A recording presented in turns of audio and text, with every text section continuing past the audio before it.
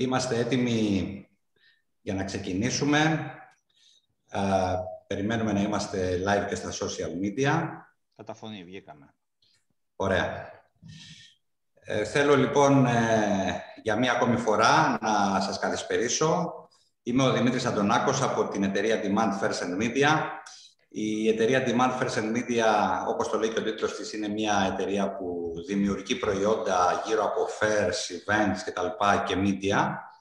Και σε ό,τι αφορά το κομμάτι του hospitality industry, έχει δημιουργήσει μία σειρά από τέτοια προϊόντα. Σε ό,τι αφορά το κομμάτι fairs και events, την έκθεση 100% hotel show, το 100% hotel workshop tour, 100% hotel design awards και σε ό,τι αφορά το media κομμάτι, τα 100% hotel specials που είναι το online περιοδικό ας πούμε για τον χώρο της φιλοξενίας και το 100% broadcasting που είναι η Web TV. Μέρος της Web TV είναι αυτή η εκπομπή που παρακολουθείτε τώρα, το 100% Tour Destinations.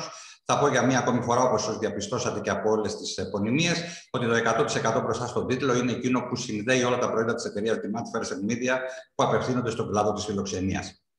Η εκπομπή 100% Tour Destinations ε, έχει πάντα ε, μία προσέγγιση σε ό,τι αφορά τους ε, τουριστικούς προορισμούς, τη διαχείριση των τουριστικών προορισμών και στοχεύει να έχει εκπροσώπους από τους προορισμούς με τους οποίους θα μοιραζόμαστε διάφορες απόψεις, ε, ιδέες, πώς πάνε τα πράγματα, τη νέα κανονικότητα έτσι όπως έχει διαμορφωθεί και με βάση τον κορονοϊό. Η εκπομπή αυτή γίνεται με την επιμέλεια του Δημήτρη του Βασιλείου, συνειδητή του Φλαντόρ 19 και δημιουργού της εταιρείας γαστροτουρισμού Authentic Greece, ε, και βέβαια έχει και την ενεργό συμμετοχή της ομάδας Flatot 19 Flexible Touring Destinations. Σήμερα μάλιστα έχουμε και αρκετούς εκπροσώπους της ομάδας εδώ και το Μιχάλη, τον Παπαδόπουλο. Να κάνω, να κάνω το πέρασμα να πω ότι ήμασταν και το αντικείμενο της εκπομπής την προηγούμενη εβδομάδα. Μετά από... Α, ακριβώς, ακριβώς. Ε, και πρέπει να πω βέβαια, πριν ε, συνεχίσω, άλλα δύο πράγματα. Το ένα είναι ότι η συνεργασία του 100% Hotel Show με την ε, ομάδα Flatot 19 επεκτάθηκε πρόσφατα και με την δημιουργία μιας σειράς άρθρων που θα την βρείτε στο site του 100% Hotel Show, hotelshow.gr, ε, στην ειδική κατηγορία 100% Tourism, όπου εγκαινιάσαμε αυτή την ε, στήλη με ένα άρθρο που υπογράφει ο Δημήτρης ο Βασιλείου με τον Μιχάλη τον Τουανόγλου. Εξαιρετικά ενδιαφέρον, θα έλεγα. Ε, καλό είναι κάποιος να το δει, αν δεν το έχει ήδη δει. Ε, αυτό είναι σε ό,τι αφορά την επέκταση της συνεργασίας και θέλω να κάνω και άλλα δύο σχόλια. Ε, ήθελα να πω ότι τόσο ως εταιρεία όσο και ως εκπομπή χαιρόμαστε όταν ανοίγουμε δρόμους και αποκτούμε ανθρώπους που ακολουθούν αυτούς τους δρόμους.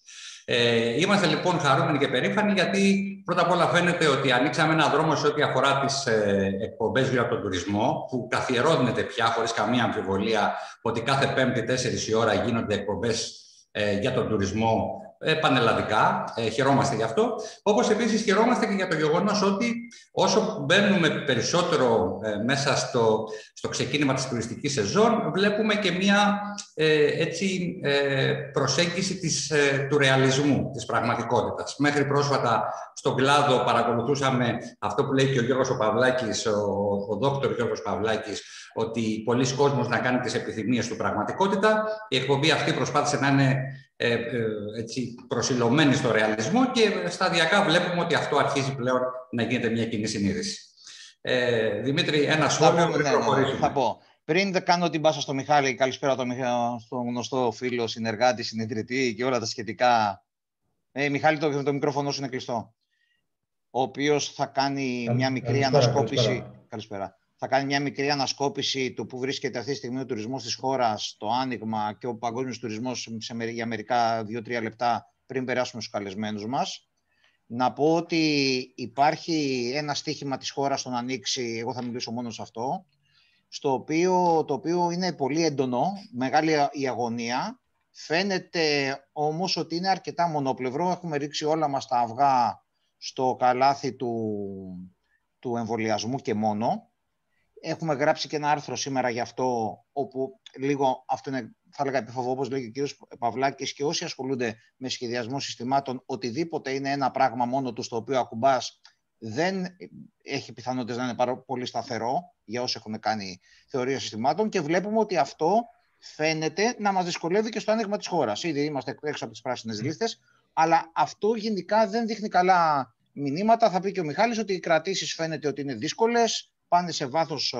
Δεν θα μιλήσω καθόλου για το επιδημιολογικό σήμερα. Εμείς θέλουμε να πούμε ότι οι προορισμοί της χώρας, και θα μιλήσουμε για δύο πολύ όμορφους προορισμούς σήμερα στις Κυκλάδες, έχουμε πάει όλοι αρκετές φορές, εγώ τουλάχιστον πάρα, πάρα πολλές, ε, που έχουν να μιλήσουν και για τη νέα εποχή του τουρισμού, θα πρέπει να δουν τον προορισμό ως προορισμό και όχι απλώς ένα χώρο που πάνε τουρίστες. Το οποίο είναι λίγο διαφορετικό και μας αναγκάζει η νέα εποχή να το δούμε έτσι το πράγμα.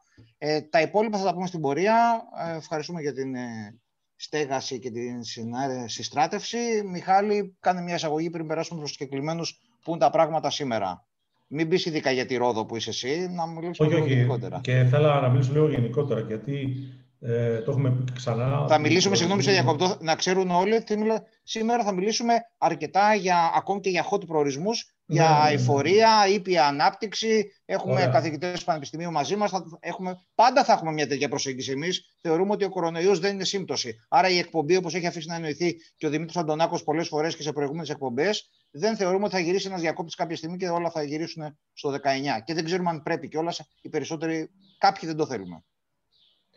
Ε, όπως έχουμε κάνει και στο παρελθόν, ε, μιλάμε λίγο ευρύτερα και ξέρεις πολύ καλά ότι και λόγω της δουλειάς μου και τα ερευνητικά προγράμματα που τρέχουν στο Πανεπιστήμιο είμαστε υποχρεωμένοι και παρακολουθούμε λίγο την κατάσταση όχι πανευρωπαϊκά, παγκόσμια.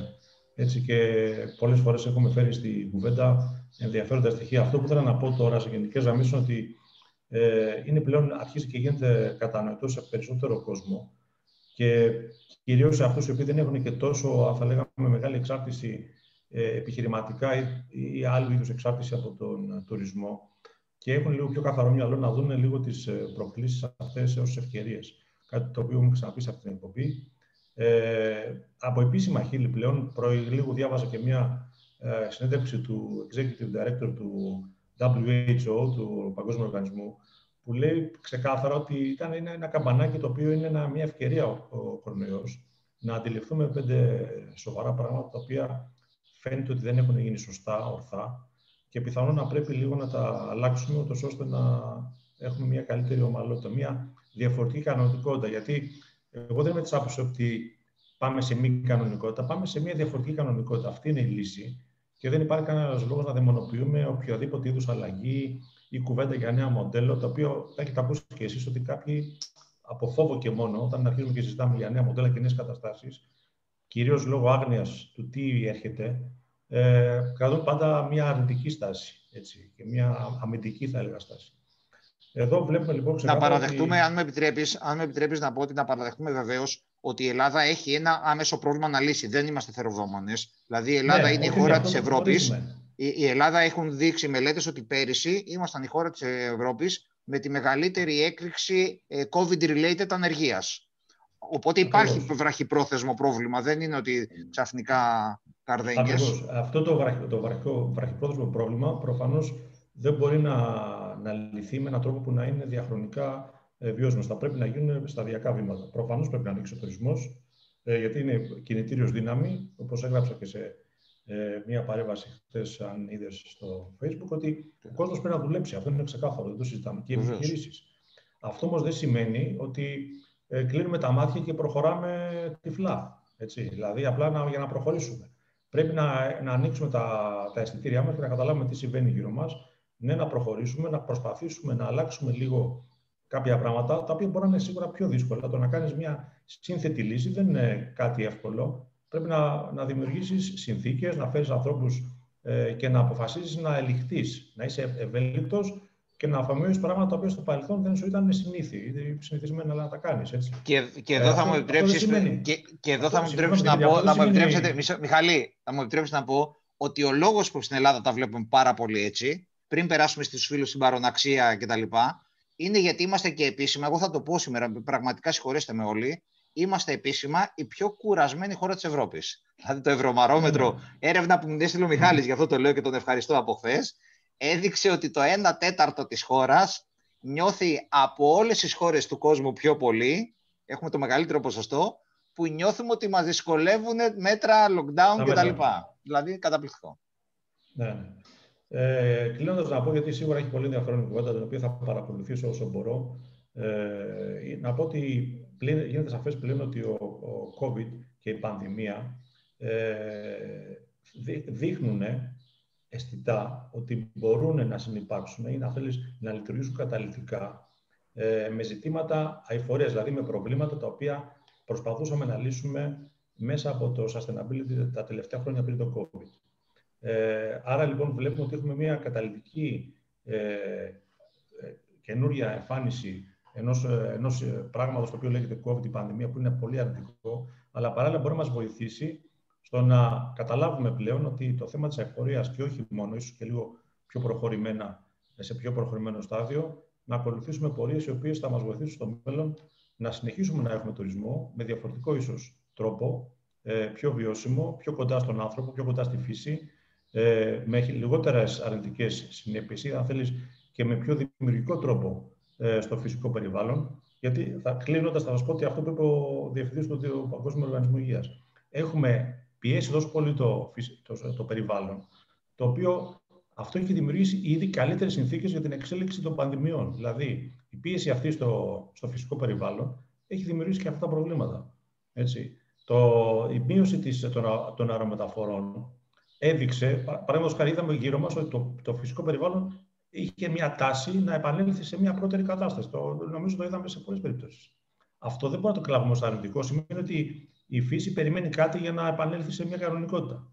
Γιατί εμεί να μην αναπτύξουμε την, τη ροή των, των επιχειρήσεών μα, το μοντέλο του τουρισμού μέσα από μια τέτοια κανονικότητα. Πιο κοντά στο περιβάλλον και πιο ολοκληρωμένα και πιο inclusive, όπω λέμε. Ε, δεν θα πω περαιτέρω, έδωσα λίγο ένα γενικό, μια γενική κατεύθυνση και, ε, Εγώ θα έλεγα... ναι, ναι, συγγνώμη, Μιχάλη, ολοκλήρωσε. Όχι, απλώς πιστεύω ότι η κουβέντα, καλό είναι να έχουμε μια γενική εικόνα του τι γίνεται γύρω μας. Το να μιλήσουμε και την πάρω την άξο σίγουρα είναι πολύ ενδιαφέρον γιατί κάθε τόπο έχει τα δικά του χαρακτηριστικά. Αλλά απ' την άλλη, καλό είναι να έχουμε κάποιες γενικές ε, ιδέες και αρχές ε, και να δούμε πού, πού τα πράγματα αλλάζουν σε ένα ευρύτερο ε, επίπεδο παγκόσμια ε, και να μην θεωρούμε ότι εμείς από μόνοι μπορούμε να λύσουμε το πρόβλημα το δικό μας αγωνώντας το τι συμβαίνει ευρύτερα. Έτσι. Σωστά. Σωστά. Ε, θεωρώ από την πλευρά μου, πριν προχωρήσουμε και στους καλεσμένους, σε συνέχεια αυτόν που λέει ο Μιχάλης, ότι στην πραγματικότητα πρέπει να κινούμαστε σε δύο άξονες. Εάν σκεφτούμε και όσους μας παρακολουθούν, που είναι οι ε, επαγγελματίες του τουρισμού, οι οποίοι έχουν μπροστά τους το άμεσο πρόβλημα, που σου λέει τι θα κάνουμε τώρα φέτος, πώς θα πάει η σεζόν, ε, τι θα γίνει, θα δουλέψουμε, θα καταστραφούμε, τι θα γίνει. Αυτός είναι ο ένας άξονας. Και ο δεύτερος άξονας προφανώς είναι πού πηγαίνει το μοντέλο, γιατί και αυτό έχει ενδιαφέρον για όσους μας παρακολουθούν με την έννοια του ποια είναι τα πλάνα τους για τη συνέχεια. Ε, άρα είναι δύο άξονες που απλά ε, μιλώντας για το μέλλον νομίζω δεν θα πρέπει να μας αποπροσανατολίζει. Ε, θυμάμαι ότι πέρσι το καλοκαίρι είχα γράψει και ένα άρθρο στο 100% Hotel Specials με τίτλο «Κρατώντας την μπάλα στο γήπεδο και όχι πετώντας την στην εξέδρα». Γιατί μερικές φορές ξέρεις όταν υπάρχει ένα τωρινό πρόβλημα που σε πιέζει και πρέπει να κάνεις πράγματα γι' αυτό, ε, μετατοπίζοντας το στο μέλλον, θεωρητικά ε, απαλλάσσεσαι από το άμεσο πρόβλημα. Νομίζω ότι είναι ε, το ίδιο βαρύνοντα και πρέπει να τα παρακολουθήσουμε και τα δύο για ένταση. Ωραία, ευχαριστούμε Μιχάλη για την ε, τοποθέτηση. Ε, Ευχαριστώ. Προχωράμε τώρα με τους πρώτους καλεσμένους. Έχουμε μαζί μας, έχουμε τη χαρά και την τιμή να έχουμε μαζί μας, την κυρία Μάνια Αβατζή, πρόεδρο της Ένωσης Ξενοδόχων Πάρου και Αντιπάρου και επίσης ε, τον ε, κύριο Μανώλη Μπαρδάνη, πρόεδρο της Ένωσης Ξενοδόχων Νάξου. Καλώς ήρθατε, χαιρόμαστε που είστε μαζί μας. Ο κύριος Μπαρδάνης είναι ο άτυχος παρέας γιατί κάνει πρώτη θητεία εν μέσω κορονοϊού, έτσι δεν έκανε λάθος. Ε, όπως, Όπως λένε οι Αμερικάνοι, where the goings get tough, the tough get going. Οπότε... Η κυρία Μπατζή είναι λίγο πιο μπαρουτοκαπνισμένη στα θέματα αυτά, θα μας τα πει τώρα. Ναι, ναι, πρόλαβα. Ξεκίνησα τον Οκτώβριο και τον Φεβρουάριο ήρθε ο κορονοϊός. Αφήστε ναι. τώρα. Είμαστε και οι δύο. Ε, μου, μου κάνει πάρα πολύ με, καλό για τη συνέχεια της εκπομπής το γεγονός ότι ε, είδα και στο βιογραφικό ότι η κυρία ε, Αμπατζή είναι ε, αρχιτέκτον ε, μηχανικός με μεταπτυχιακό στον αηφόρο περιβαλλοντικό σχεδιασμό Και από ό,τι πληροφορήθηκα και ο κ. Μπαρδάνης είναι επίσης μηχανικός. Οπότε θα δούμε και διάφορα πράγματα που σχετίζονται με τον τουρισμό, αλλά ε, λίγο και με μια ευρύτερη προσέγγιση.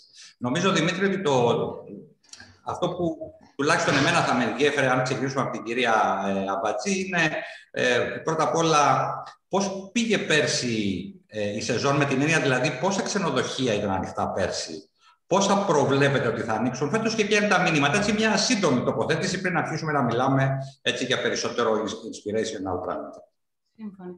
Καλησπέρα καταρχήν και ευχαριστούμε πολύ για την πρόσκληση.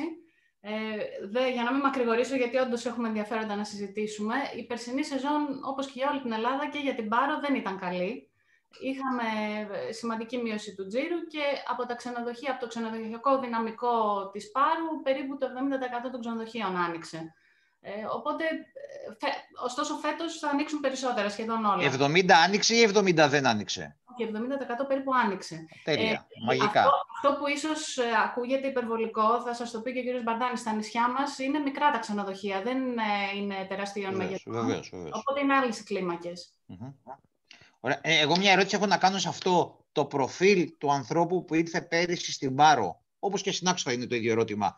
Είναι το ίδιο με τους ανθρώπους που είχαν έρθει και πρόπερση ή υπήρξε μια μικρή αλλαγή; Από όσους ήρθαν, το όποιο 30% ήρθε, 40% τι ήρθε; Υπήρχαν οι πιστοί της Πάρου, ανάλογα για τη Νάξου φαντάζομαι. Ε, οι άνθρωποι δηλαδή που γνωρίζουν... Για την Άξο το ξέρω γιατί ήμουν και εγώ στην Άξο πέρυσι. Ωραία, ωραία. Οι, οι πιστοί μας επισκέπτες, οι οποίοι χρόνια τώρα ξέρουν το νησί και έρχονται για το αγαπάνε και θέλουν και δεν τους σταμάτησε η πανδημία πέρυσι. Ε, νομίζω ότι έχει να κάνει και με το ότι όταν κάποιος νιώθει οικειότητα με ένα μέρος, ξέρει πώς να κινηθεί, πώς να προστατευτεί, έχει και αυτό το ρόλο του. Ε, οι άνθρωποι που ήρθαν για πρώτη φορά, ε, κάποιοι ήταν αποφασισμένοι ότι θα κάνουν διακοπές, ε, το διακινδύνευσαν και τουλάχιστον σε επίπεδο ξενοδοχείων ε, βγήκαν ως προπρόσωποι. Ε, οι υπόλοιποι, εντάξει, είχαμε και κάποια περιστατικά που ακούστηκαν που δεν ήταν τόσο προσεκτικά, αλλά νομίζω ότι σαν συνολική εικόνα ε, το νησί τήρησε τα μέτρα. Ε, και η απόδειξη σε αυτό, επειδή ξέρω ότι υπήρξαν δημοσιεύματα κτλ., είναι ότι ε, δεν, δεν υπήρξε διασπορά του ιού στην τοπική κοινωνία. Ε, δηλαδή, με το που φύγανε οι τουρίστες έφυγε και ο κορονοϊός. Δεν μιλάω. Δεν μιλάω τίποτα καθόλου. Αυτολογοκρισία. να, απαντήσει, να απαντήσει και ο κύριος Μπαρδάνης το ίδιο ερώτημα που ήταν ανοιχτός όταν εσείς ήσασταν λίγο κλειστοί επειδή δεν είχατε πρόβλημα. Έχουμε, την επικοινωνία μας. Είχαμε... Το βλέπω από το καραβάκι την είχα την επικοινωνία που πηγαίναν από το ένα νησί στο άλλο για να κάνουν πάρτι. Ε, πού ήμουν εγώ, δεν ήμουν αλλού, ήμουν εγώ. Σωστά, σωστά. Για πέστε κύριε Μπαρτάνη, πείτε καμιά αλήθεια εδώ πέρα γιατί είμαι πάνω Καλησπέρα σας και από μένα, καλησπέρα σας. Ευχαριστούμε πολύ για τη φιλοξενία και τα μέσα μας δίνουν τη δυνατότητα να συζητάμε έτσι ενδιαφέροντα θέματα και να συναντιόμαστε κατά καιρούς. Ε, η τουριστική κίνηση, εντάξει, και, και ε, στο νησί της Νάξου ήταν υποτονική πέρυσι όπως ε, προφανώς ε, σε όλη την Ελλάδα. Ε, όπως πολύ σωστά είπε και η Μάνια συνάδελφος ε, από την Πάρο, είμαστε μικρές οικογενειακές επιχειρήσεις και στην ε, Νάξο, οπότε οι περισσότερες επιχειρήσεις άνοιξαν. Οι λίγο μεγαλύτερες δεν κατάφεραν να ανοίξουν πέρυσι, ε, φέτος όμως θα, θα ανοίξουν όλοι και θα προσπαθήσουμε να διαχειριστούμε τον όσο κόσμο έρθει από όποτε προς τα τέλη Ιουνίου, που από ό,τι φαίνεται θα ξεκινήσει η τουριστική ε, κίνηση. ετοιμάζονται όλοι να ανοίξουν πάντως, αυτό είναι το μήνυμα καταρχήν. Ναι, ναι, ναι. Αυτή τη στιγμή αυτό το, αυτά τα μηνύματα λαμβάνουμε. Θα ξεκινήσουν όλοι. Ε, Άλλο αρχές Ιουνίου, άλλος μέσα Ιουνίου, με συγχωρείτε. Ε, ε, ε, έχουμε κάποια μηνύματα κρατήσεων ε, μέχρι τώρα. Ε, απευθύνομαι και στην κυρία Μπατζή και στον κύριο Παρδάνη. Με τι σειρά θέλετε. θέλετε κυρία να... Μπατζή, ladies first. Μάλιστα, ευχαριστώ. Ε, αρχικά ο Ιούνιος είναι ήσυχος. Ε, το Μάιο τον αφήνουμε απ' έξω. Ε, ο κύριος όγκος κρατήσεων φαίνεται να είναι τον Ιούλιο και τον Αύγουστο. Ωστόσο, να πούμε ότι και αυτές οι κρατήσεις, επειδή έχουν πολύ ελαστική ακυρωτική πολιτική, ε, για μας δεν σημαίνει κάτι. Δηλαδή, είμαστε επιφυλακτικοί. Θεωρούμε ότι πρέπει να δείξουμε όλη προσοχή για να φτάσουμε στον Ιούλιο και τον Αύγουστο και τον Σεπτέμβριο. Να, θα, θα μου επιτρέψετε να πω κάτι, κυρία Μπατζή, και αν θέλετε με διορθώνετε, αλλά κυρίως για αυτούς που μας ακούνε, επειδή έχουμε βγάλει αρκετούς προορισμούς, είστε όμως από τους πιο μικρούς, εν πάση περιπτώσει, που βγαίνουν, με την έννοια ότι μέχρι τώρα έχουμε περάσει από πολύ Κο, Ρόδο, Κρήτη κτλ., από Κέρκυρα, όπου δουλεύουν πάρα πολύ με μεγάλα ξενοδοχεία και πολύ tour operating. Η Πάρος και η Νάξος είναι περιοχές που δεν δουλεύουν τόσο πολύ με tour operator, παρόλο που η, η Πάρος έχει διεθνές αεροδρόμιο, η Νάξος νομίζω δεν είναι καν διεθνές αεροδρόμιο, έτσι δεν είναι, θα μου το, θα το πει και ο Μπαρδάνης μετά. Οπότε παρόλα αυτά φαίνεται ότι εσείς απευθύνετε σε αυτό που λέμε κρατήσεις κατευθείαν ή με κάποιο τρόπο οτά ή δεν ξέρω τι άλλο. Πάντως όχι πολύ tour operators. Ισχύει αυτό. Ισχύει κατά κύριο λόγο. Το αεροδρόμιο μας δεν είναι διεθνές. Ε, μάλλον προβλέπεται. Θα, θα δείξω. Θα γίνεται και hub τώρα όμως. Τέλος πάντων, αφήστε να τα συζητήσουμε αργότερα. Okay. Ωραία. Και ε, ε, γενικά και τα, ε, καταρχάς, α, ναι, στην ίδια ερώτηση και ο κύριος ε, Μπαρδάνης πριν, πριν προχωρήσω.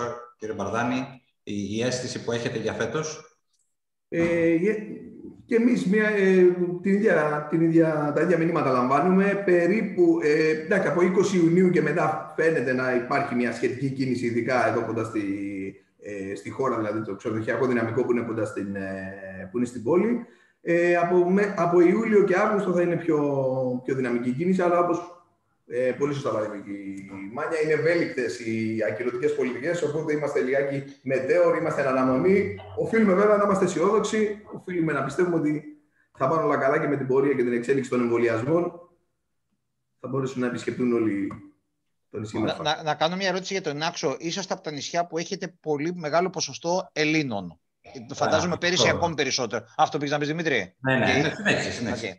Και επιπλέον έχετε ένα μεγάλο ποσοστό Ελλήνων. Έτσι κι αλλιώς φαντάζομαι πέρυσι περισσότερο το 20, δυσανάλογα περισσότεροι από άλλες χρονιές, υποψιάζομαι. Εγώ είδα τουλάχιστον κάτι τέτοιο όταν ήμουν στο νησί. Και επίσης ήταν και ένα νησί που έχετε πάρα, πάρα πολλά προϊόντα. Η Νάξο είναι πάρα πολύ γνωστή σε όλους. Φαντάζομαι όσοι μας ακούνε θα έχουν φάει πράγματα από την Άξο τυριά και άλλα, και άλλα τέτοια όμορφα. Έχετε μια πολύ μεγάλη ένωση αγροτικών συνεταιρισμών κτλ. κτλ. Πώς στάθηκαν αυτά τώρα αυτόν τον καιρό και πώς υποστηρίζεται το σύστημα; Θα μιλήσουμε μετά για το πώς αυτά αλλά πώς αυτό επηρεάζει λίγο τα πράγματα τουριστικά. Δηλαδή το Έλληνες όντως φαίνεται να, να έχουμε και φέτος περισσότερους Έλληνες. Οι ξένοι μας συνεχίζουν να ενδιαφέρονται για τα πράγματα που ενδιαφερόντουσαν και πριν, για τα προϊόντα μας κτλ.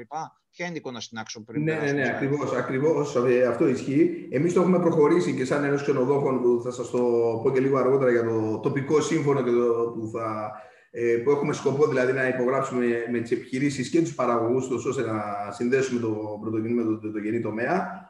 Ε, με κάποια όρια βέβαια θα τα, θα τα πούμε, αλλά ναι, κυρίως οι Έλληνες είναι αυτοί οι οποίοι στήριξαν πέρυσι την προηγούμενη χρονιά το, ε, το νησί και φέτος δείχνουν ένα έντονο ενδιαφέρον. Εντάξει, το νησί είναι ε, πολλά χρόνια στις ε, σκέψεις των ανθρώπων για οικογενειακές διακοπές, οπότε, οπότε ισχύει αυτό που είπατε. Πάμε να μιλήσουμε τώρα για εφορία στην Πάρο, γιατί κρατιέμαι πολλή ώρα. Καταρχάς, να, να πω σε συνέχεια αυτού ότι ε, είχα επισκεφθεί την Πάρο για διακοπές το καλοκαίρι του 2018. Ε, είχα κάποια χρόνια που δεν είχα έρθει. Τέλος πάντων, είδα το νησί, ήταν σε μια πολύ καλή αναπτυξιακή πορεία. Η, η εικόνα που μου έδωσε και όντας εκεί αλλά και μιλώντας και με ανθρώπους, αλλά και τα μηνύματα μετά, ότι ήταν σε μια κατάσταση ανάπτυξης ε, wannabe New Mykonos, ας πούμε. Ε, σωστό ή λάθος, σωστή ή λάθος αίσθηση, κυρία Μπατζή; Δεν ξέρω που, με τι, πώς κινηθήκατε, τέλος πάντων, το 2018. Ε, υπάρχει μία τέτοια θεώρηση ευρύτερα, αλλά επί της ουσίας δεν ισχύει. Δηλαδή, ε, η πλειοψηφία ε, των ανθρώπων που ασχολούνται με τον τουρισμό ε, θέλουν η Πάρος να έχει το δικό της brand, ε, τη δική της ταυτότητα, για να μιλάμε ελληνικά. Ε, η Πάρος έχει, έχει πολλές πλευρές. η αλήθεια είναι ότι αυτή τη στιγμή κυριαρχεί η εικόνα της ως ένα νησί με ωραίες θάλασσες, ωραία νυχτερινή ζωή και ωραίο φαγητό. Ανεξάρτητα από το, δεν, δεν συζητάω για παραδοσιακές γεύσεις όπως την Άξο κτλ σε ψυχαγωγικό επίπεδο, ας πούμε, σε επίπεδο κοινωνικοποίησης κτλ.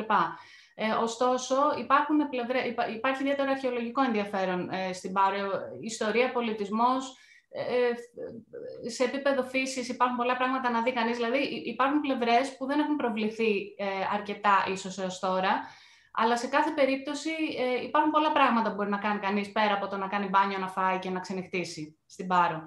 Ε, επειδή, λοιπόν, η προσπάθεια να γίνουν αυτά οργανωμένα, ποια είναι, πείτε μας λίγο. Δηλαδή, τα θέματα DMO μας έχουν ακουμπήσει σαν νησί πριν από τον COVID τα προσπαθούσαμε ή τώρα ο COVID είναι ευκαιρία ή είναι απειλή. Δεν ξέρω πώς το βλέπουν. Αυτό είναι και ο Δημήτρης προηγουμένως. Αν το COVID τελικά είναι ευκαιρία ή απειλή για την Πάρο ειδικά. Ειδικά για την Πάρο έχω μια μεγάλη απορία. Ε, επειδή υπόθηκε και πριν ότι ο COVID ίσως βοηθάει περιβαλλοντικά, ε, να πω τη μικρή μου ένσταση από πλευράς ξενοδοχείων. Ο COVID μας έχει υποχρεώσει να κατασπαταλάμε πόρους, ε, μιας χρήσης αντικείμενα, χημικά για απολυμάνσεις. Όλα αυτά ε, δεν είναι καλό πράγμα για το περιβάλλον. Δηλαδή, έχουμε υποχρεωθεί να υπερβάλλουμε σε πολλά πράγματα που δεν θα έπρεπε.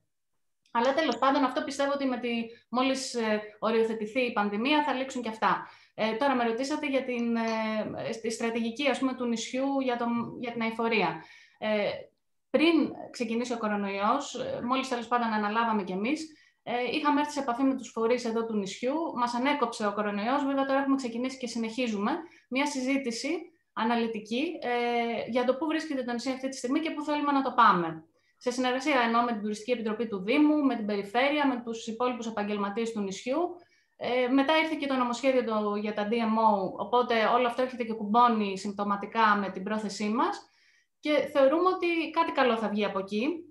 Με την έννοια ότι, όπως σας είπα, έχουμε εντοπίσει ε, πολλά σημεία του νησιού, πολλά θέματα μάλλον που, που το νησί δεν έχει αναδείξει και, εν πάση περιπτώσει, πολλές περιοχές ε, που μπορούν να αξιοποιηθούν ώστε να υπάρξει διασπορά του κόσμου, να μην υπάρξει συγκέντρωση, ας πούμε, σε συγκεκριμένα σημεία. Να αναπτυχθεί δηλαδή όλο το νησί με μια ισορροπία και με μεγαλύτερη διάχυση στο χρόνο. Στη, στη σεζόν εννοώ. Γιατί τώρα είναι γνωστό ότι τον Αύγουστο, πούμε, το 15 Αύγουστο στην Πάρο δεν, δεν βρίσκεται να περπατήσεις.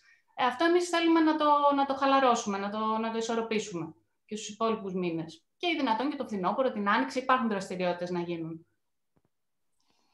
Ε, βέβαια, ε, το μεταπτυχιακό σας είναι στο, η αηφορία στο περιβαλλοντικό σχεδιασμό, ε, μιλώντας για αηφορία στο τουρισμό, το sustainability στο τουρισμό τέλος πάντων, είναι πολύ περισσότερα πράγματα από το περιβάλλον. Ε, είναι κοινωνικά, είναι οικονομικά κριτήρια, είναι πολλά κριτήρια. Είναι, το ίδιο ισχύει και, στα, και στην αρχιτεκτονική με την αηφορία, δεν είναι μόνο στον τουρισμό. Η αηφορία σαν αηφορία ε, περιλαμβάνει αυτούς τους τρεις πυλώνες, την κοινωνία, την οικονομία και το περιβάλλον. Ε, απλώς Τώρα, τώρα μου δίνετε την ευκαιρία να πω ότι αυτό πρέπει να το έχουν υπόψη τους και όσοι σχεδιάζουν κεντρικά για την Ελλάδα. Ε, και να θίξω το θέμα των ανεμογεννητριών και να θίξω το θέμα της διασύνδεσης των νησιών και όλα αυτά τα περιβαλλοντικά που ετοιμάζουν δίθεν για το καλό των νησιών, αλλά ουσιαστικά δεν έχει ασχοληθεί κανείς να κοιτάξει τι ισχύει πραγματικά σε τοπικό επίπεδο και πώς η κοινωνία έχει προσπαθήσει και ήδη έχει ανακαλύψει ας πούμε, την αξία της αυθεντικότητας των νησιών και προσελκύει τουρίστες ε, με αυτό το κριτήριο πλέον. Δηλαδή γίνεται μια προσπάθεια να αναδείξουμε το τοπικό μας χρώμα και το χαρακτήρα και βάσει αυτού να προσελκύσουμε κόσμο. Αυτό δεν θα ισχύσει άμα γίνουν βιομηχανικού τύπου επεμβάσεις στα νησιά μας. Συγγνώμη, επεκτάθηκα πολύ, συγγνώμη, αλλά έπρεπε... Ε, όχι, ε, θέλουμε, να, θέλουμε να επεκτείνεστε σε τέτοια πράγματα.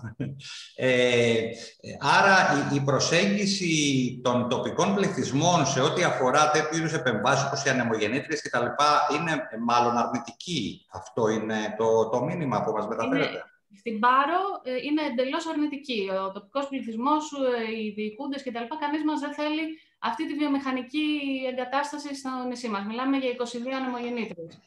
Ε, ε μπορώ να μου επιτρέψετε να, να πω λίγο να, πριν περάσουμε στο, στην άξο που είναι αγαπημένη και όχι γιατί ήμουν απερισιμόν, αλλά επειδή θέλω να μιλήσω και για τρόφιμα και τοπική γαστρονομία κτλ. που είναι σημαντικό κομμάτι της αηφορίας και ενός τρόπου να προσελκύσεις κόσμο. Θα ήθελα, να, για να είμαστε λίγο όλοι ειλικρινείς, επειδή καταλαβαίνω το, την πίεση ανεμογεννήτριες στα νησιά για να εξοικονομήσουμε πόρους από το λιγνίτη, περιβάλλον κτλ. Θα πρέπει όμως κατά τη στοιχεία να μπαίνουμε και στον προβληματισμό στο τοπικό επίπεδο, όταν θέλει να δει κανείς το, το κομμάτι μιας διαχείρισης προορισμού σε επίπεδο DMO, τοπική αυτοδιοίκηση, ξενοδόχη μαζί κτλ. Είναι σαφές ότι πρέπει να αντιμετωπίσει και θέματα capacity του προορισμού του, άρα να δει και θέματα του πώς θα πρέπει ο κόσμος που, εν πάση περιπτώσει, αν θες να μειώσεις το capacity, να το ελέγξεις κάπως, θα πρέπει να δεις και πώς θα απασχολείς τον κόσμο. Άρα, αυτή τη δουλειά που ζητάμε από τον. Κάνω λίγο το δικηγόρο του διαβόλου για όλους, εγώ και από μια περίπτωση και από την άλλη. Είναι πιο εύκολο αυτό. Όταν ζητάμε δηλαδή συστημική προσέγγιση ολοκληρωμένη από το κάθε κράτος, πρέπει και εμείς μετά, κατά τη στοιχεία, να είμαστε έτοιμοι να κάνουμε τους κακούς στο δικό μας τόπο, αν το λέω σωστά. Σωστά, πολύ σωστά το λέτε. Καταρχήν, ε, για μένα η, το κυριότερο πράγμα είναι να μάθουμε ότι πρέπει να αρχίσουμε να, να σκεφτόμαστε μάλλον, να μάθουμε πόση ενέργεια χρησιμοποιεί ο καθένας μας. Ε, δηλαδή, σήμερα όταν χτίζεται ένα καινούριο ξενοδοχείο, ε, μπαίνουν τόσες μπρίζες μέσα σε ένα δωμάτιο και πάλι δεν φτάνουν. Ε, αυτό είναι πραγματικά ανάγκη μας. Δηλαδή, πρέπει λίγο να σκεφτούμε ε, τι απαιτήσεις έχουμε. Δεν γίνεται να, να παράγουμε τόσο πολύ ενέργεια τη στιγμή που δεν υπάρχει ουσιαστική ανάγκη να τη χρησιμοποιούμε. Με την έννοια ότι πρέπει να αρχίσουμε να σκεφτόμαστε εμείς, δηλαδή να, να εκπαιδευτούμε από μικρή ηλικία, ε, να σκεφτόμαστε ε, πιο περιβαλλοντικά, να το πω, δεν ξέρω πώς να το πω, αλλά εν πάση περιπτώσει να εξορθολογήσουμε τις ανάγκες μας. Ε, και υπάρχει και μια θεωρία στο, στο, στο ξενοδοχειακό κλάδο που λέει ότι η πολυτέλεια συνδέεται με το όσο πιο πολύ μπορείς να προσφέρεις κτλ. Ε, έρχονται σήμερα τα eco resorts, ας πούμε, να το διαψεύσουν και αυτό. Ε, που ναι, μεν υπάρχει μια πολυτέλεια, αλλά ε, σου λέει ε, υπάρχει περιορισμός στη χρήση νερού, υπάρχουν διάφορες, διάφορες προδιαγραφές, ας πούμε, που περιορίζουν. Ε, Έτσι κι αλλιώς έχει αλλάξει, να ξέρετε, και διεθνώς η προσέγγιση απέναντι στο luxury και το λέω επειδή ως... Δεν luxury. Ακριβώς. Ως έκθεση είναι και ένα αντικείμενο που έχουμε ασχοληθεί πάρα πολύ και από την αρχή το υπηρετούμε. Διάβαζα προ-COVID μία μελέτη που τέλος πάντων και με κάποια συγκεκριμένα case studies που έλεγε ότι το νέο luxury τότε ήταν η, ε, η φυσικότητα και η αυθεντικότητα. Δηλαδή η διαμονή σε ένα δεντρόσπιτο ας πούμε ήταν luxury.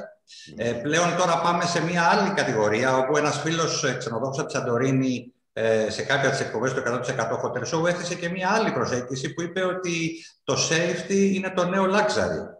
Έτσι, άρα θέλω να πω ότι όλο αυτό έχει μια εξέλιξη μέσα στο, στο χρόνο και ανάλογα με τις ανάγκες. Να βάλουμε τον κύριο Μπαρδάνη στην κουβέντα, να κάνουμε λίγο... Ένα Επί... μισό λεπτάκι ακόμα να απαντήσω σε αυτό που είπατε, ότι κατά πόσον είμαστε σε ετοιμότητα να κάνουμε εμείς τους κακούς τοπικά. Ω Ένωση είμαστε οι πρώτοι που λέμε ότι αφήστε τη αναμονήτρια στην άκρη, εμείς, ο ξενοδοχειακός κλάδος που καταναλώνουμε και πολλή ενέργεια, να μπούμε στη διαδικασία να δούμε τι μπορούμε να κάνουμε για την εξοικονόμηση. Να μην χάνουμε εμείς σαν κτίρια ενέργεια και σαν χρήση και ανάλογα και κάθε κλάδος της οικονομίας του νησιού και να δούμε πώς μπορούμε να κάνουμε το νησί μας ε, φιλικότερο προς τους περιβαλλοντικούς του πόρους. Και συγγνώμη για τη μονοπόληση. Θα σας τεστάρουμε όταν θα έρθει το νομοσχέδιο και θα πρέπει να κάνετε πράγματα όλοι μαζί εκεί θα δούμε, θα σας βγάλουμε να μας πείτε τα κάνετε, δεν τα κάνετε, γκρινιάζει ο ένας τον άλλον, τι κάνετε, τότε θα τα πούμε.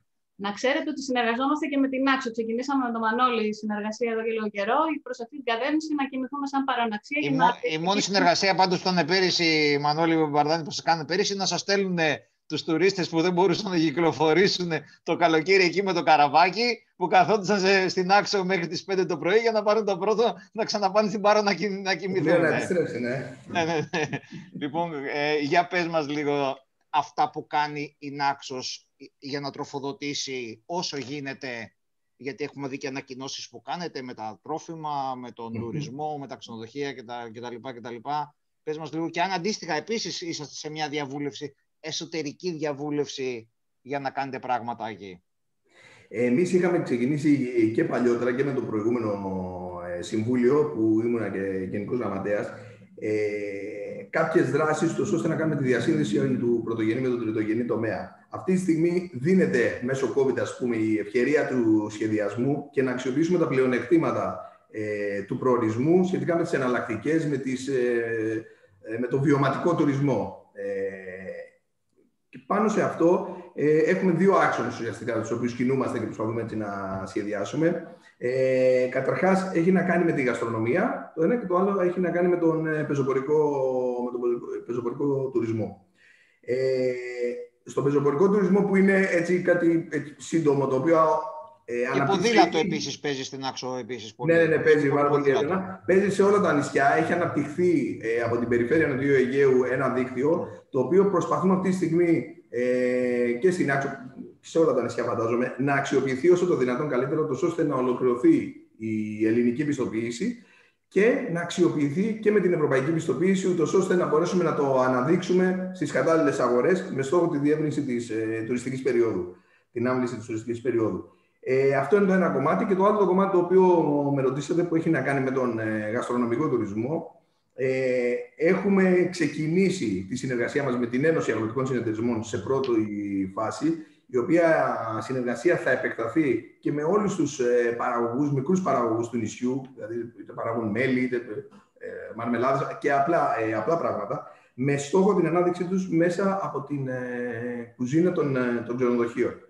Ε, θα υπογράψουν ουσιαστικά ένα τοπικό σύμφωνο, σύμφωνο στην χρήση των, ε, των αγροτικών προϊόντων, ε, όπου θα πιστοποιούμε ότι χρησιμοποιούνται έστω 3, 4, 5 πράγματα τα οποία παράγονται στο νησί, σε συνεργασία με τους ε, παραγωγούς και θα το πιστοποιούμε ούτως ώστε να μπορέσουμε να το επικοινωνήσουμε. Είναι αντίστοιχο το We Do Local και τα λοιπά πράγματα τα οποία γίνονται ε, και σε άλλες περιοχές προφανώς δεν... Θα σας φωνάξουμε. Έχουμε και προγραμματίσει σειρά εκπομπών για αυτά. Θα σας φωνάξουμε, θα πείτε αναλυτικά. Εξαιρετικά, εξαιρετικά. Ε, επίσης, ε, υπάρχει κάποια διαβούλευση από ό,τι διάβασα στο Δήμο Νάξου σχετικά με πολιτιστική διαδρομή του νησιού.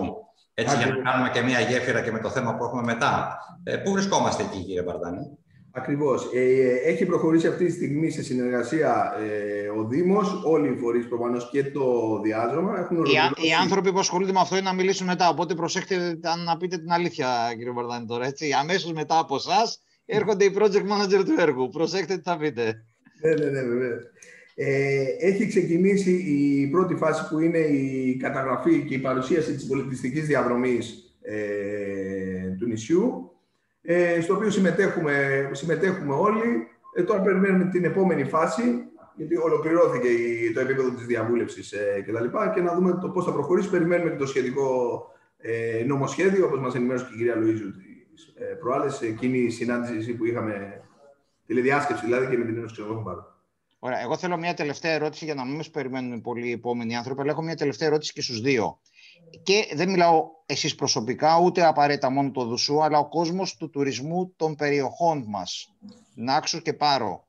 Είμαστε έτοιμοι πραγματικά, όχι απλώς βλέποντας το πράγμα επιδημιολογικά, αλλά είμαστε έτοιμοι για την πιθανότητα ο, ο COVID, η πανδημία, οι περιορισμοί της να είναι εδώ μαζί μας για πολύ καιρό. Όχι ως παρατηρητές, αλλά αν είναι κάτι που και για αυτή τη σεζόν, αλλά πιθανώς και σε ένα μικρότερο βαθμό και για επόμενη σεζόν. Είναι κάτι που το συζητάμε μεταξύ μας, είναι κάτι που αφήνουμε να μας προβληματίσει μήπως αυτή η σεζόν δεν είναι απλώς μια διαχείριση κρίσης, αλλά είναι μια είσοδος σε μια νέα εποχή. Έχει γίνει μια τέτοια συζήτηση;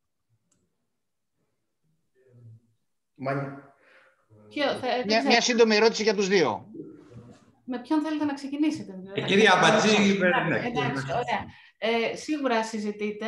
Ε, άλλωστε και τα περιθώρια που μας δίνουν οι επιδημιολόγοι δεν είναι και πολλά. Ακούμε για μεταλλάξεις, ε, υπάρχει αμφιβολία αν τα εμβόλια πιάνουν τις μεταλλάξεις. Ε, γενικά υπάρχει σκεπτικισμός.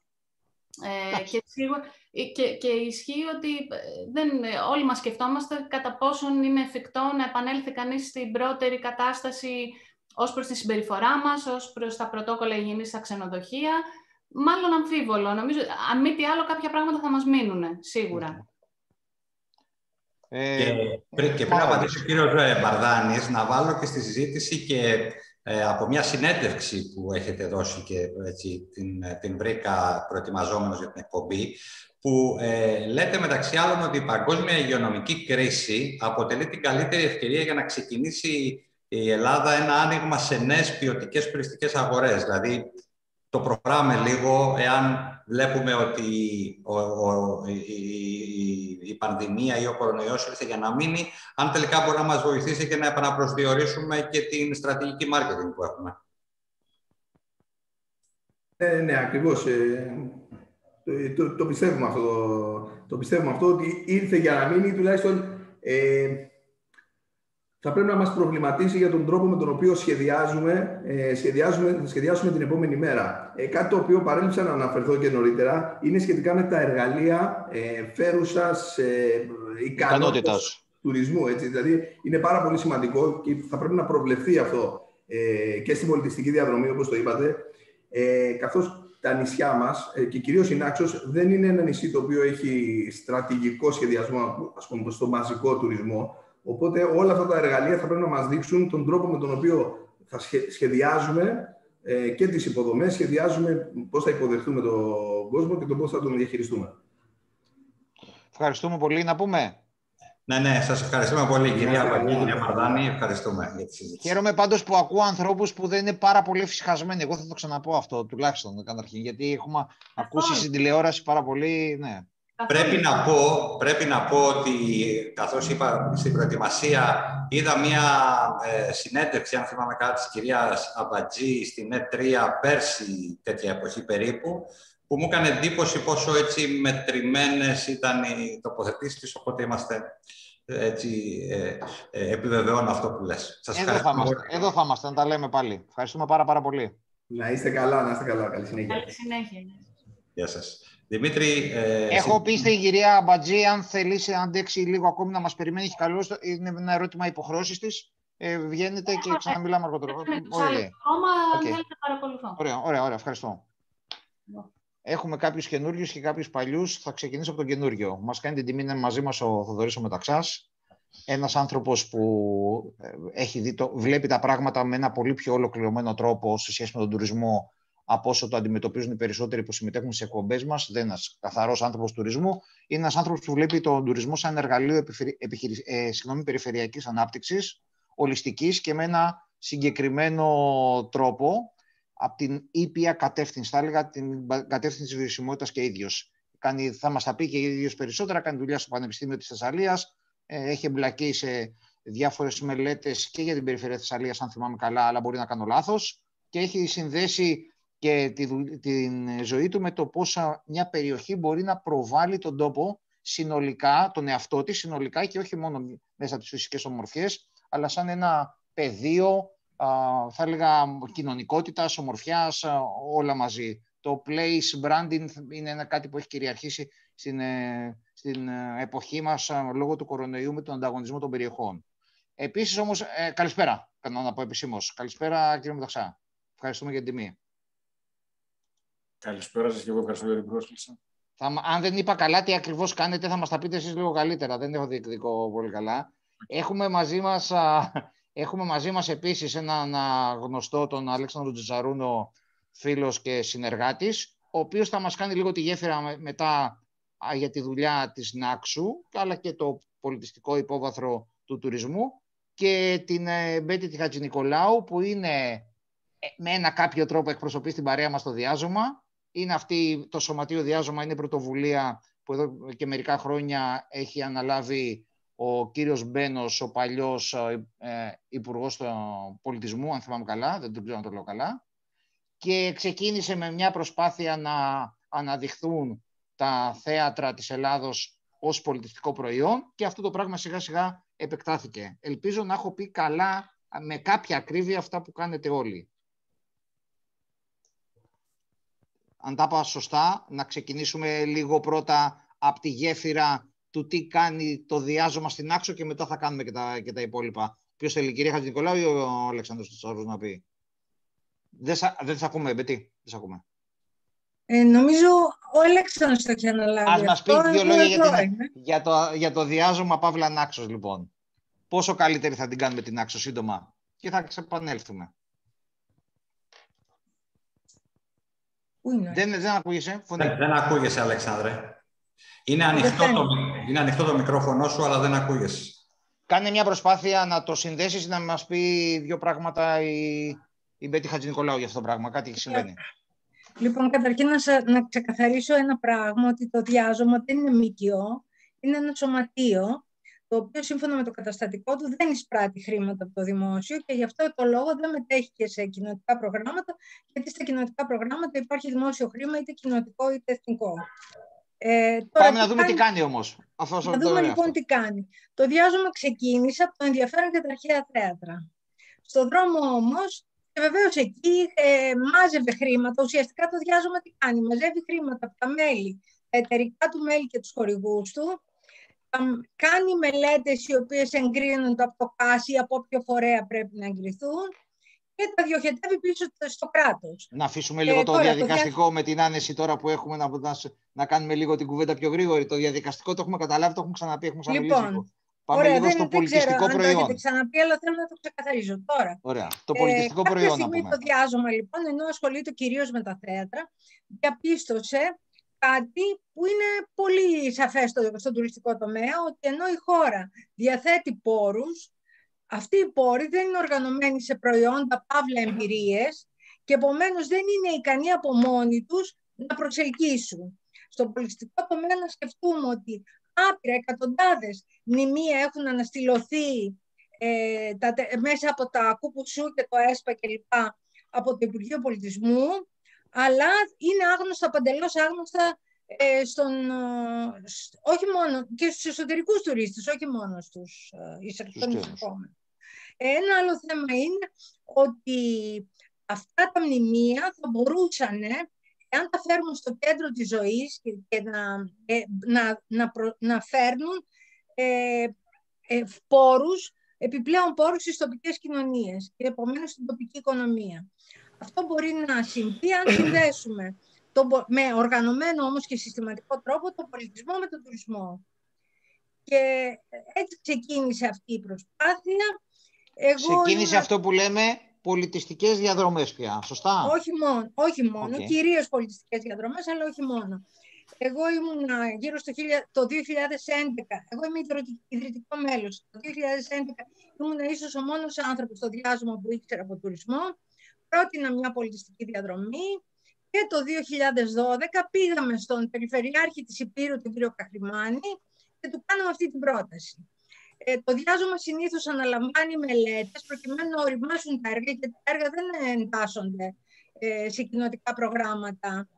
Προφανώς από αυτούς που ε, διαχειρίζονται τα χρήματα, δηλαδή να ξεκαθαρίσουμε ότι το διάζωμα προτείνει και προχωράει κάτι μόνο αν το αποδεχτεί το ανάλογο επίπεδο τοπικής αυτοδιοίκησης, δηλαδή είτε η περιφέρεια ή το Δήμος ή και οι δύο. Προφανώς και οι δύο. Ε, και βέβαια αυτό που κάνει το διάζωμα είναι ότι ε, συγκεντρώνει λεφτά και προετοιμάζει μελέτες, ούτως ώστε τα έργα να είναι όρημα για να μπορούν να ενταχθούν.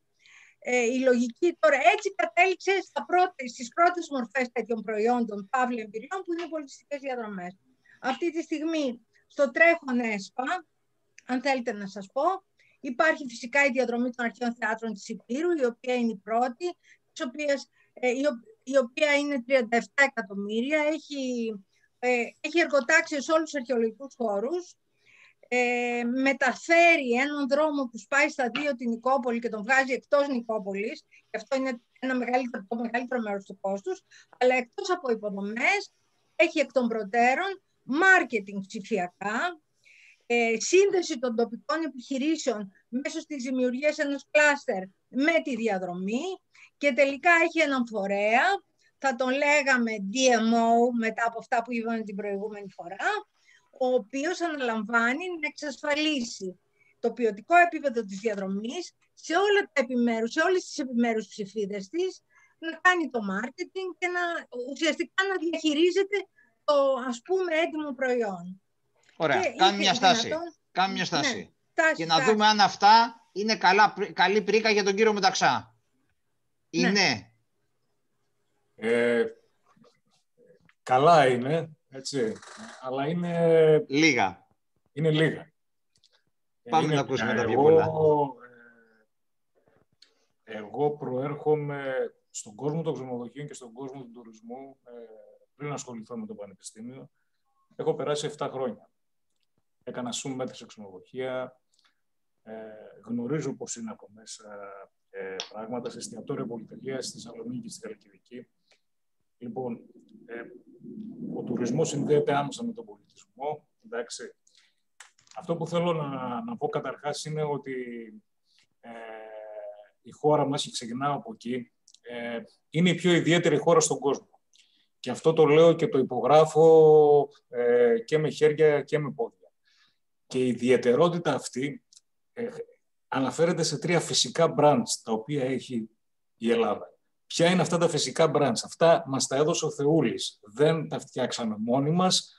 Ε, είναι η γεωγραφική θέση.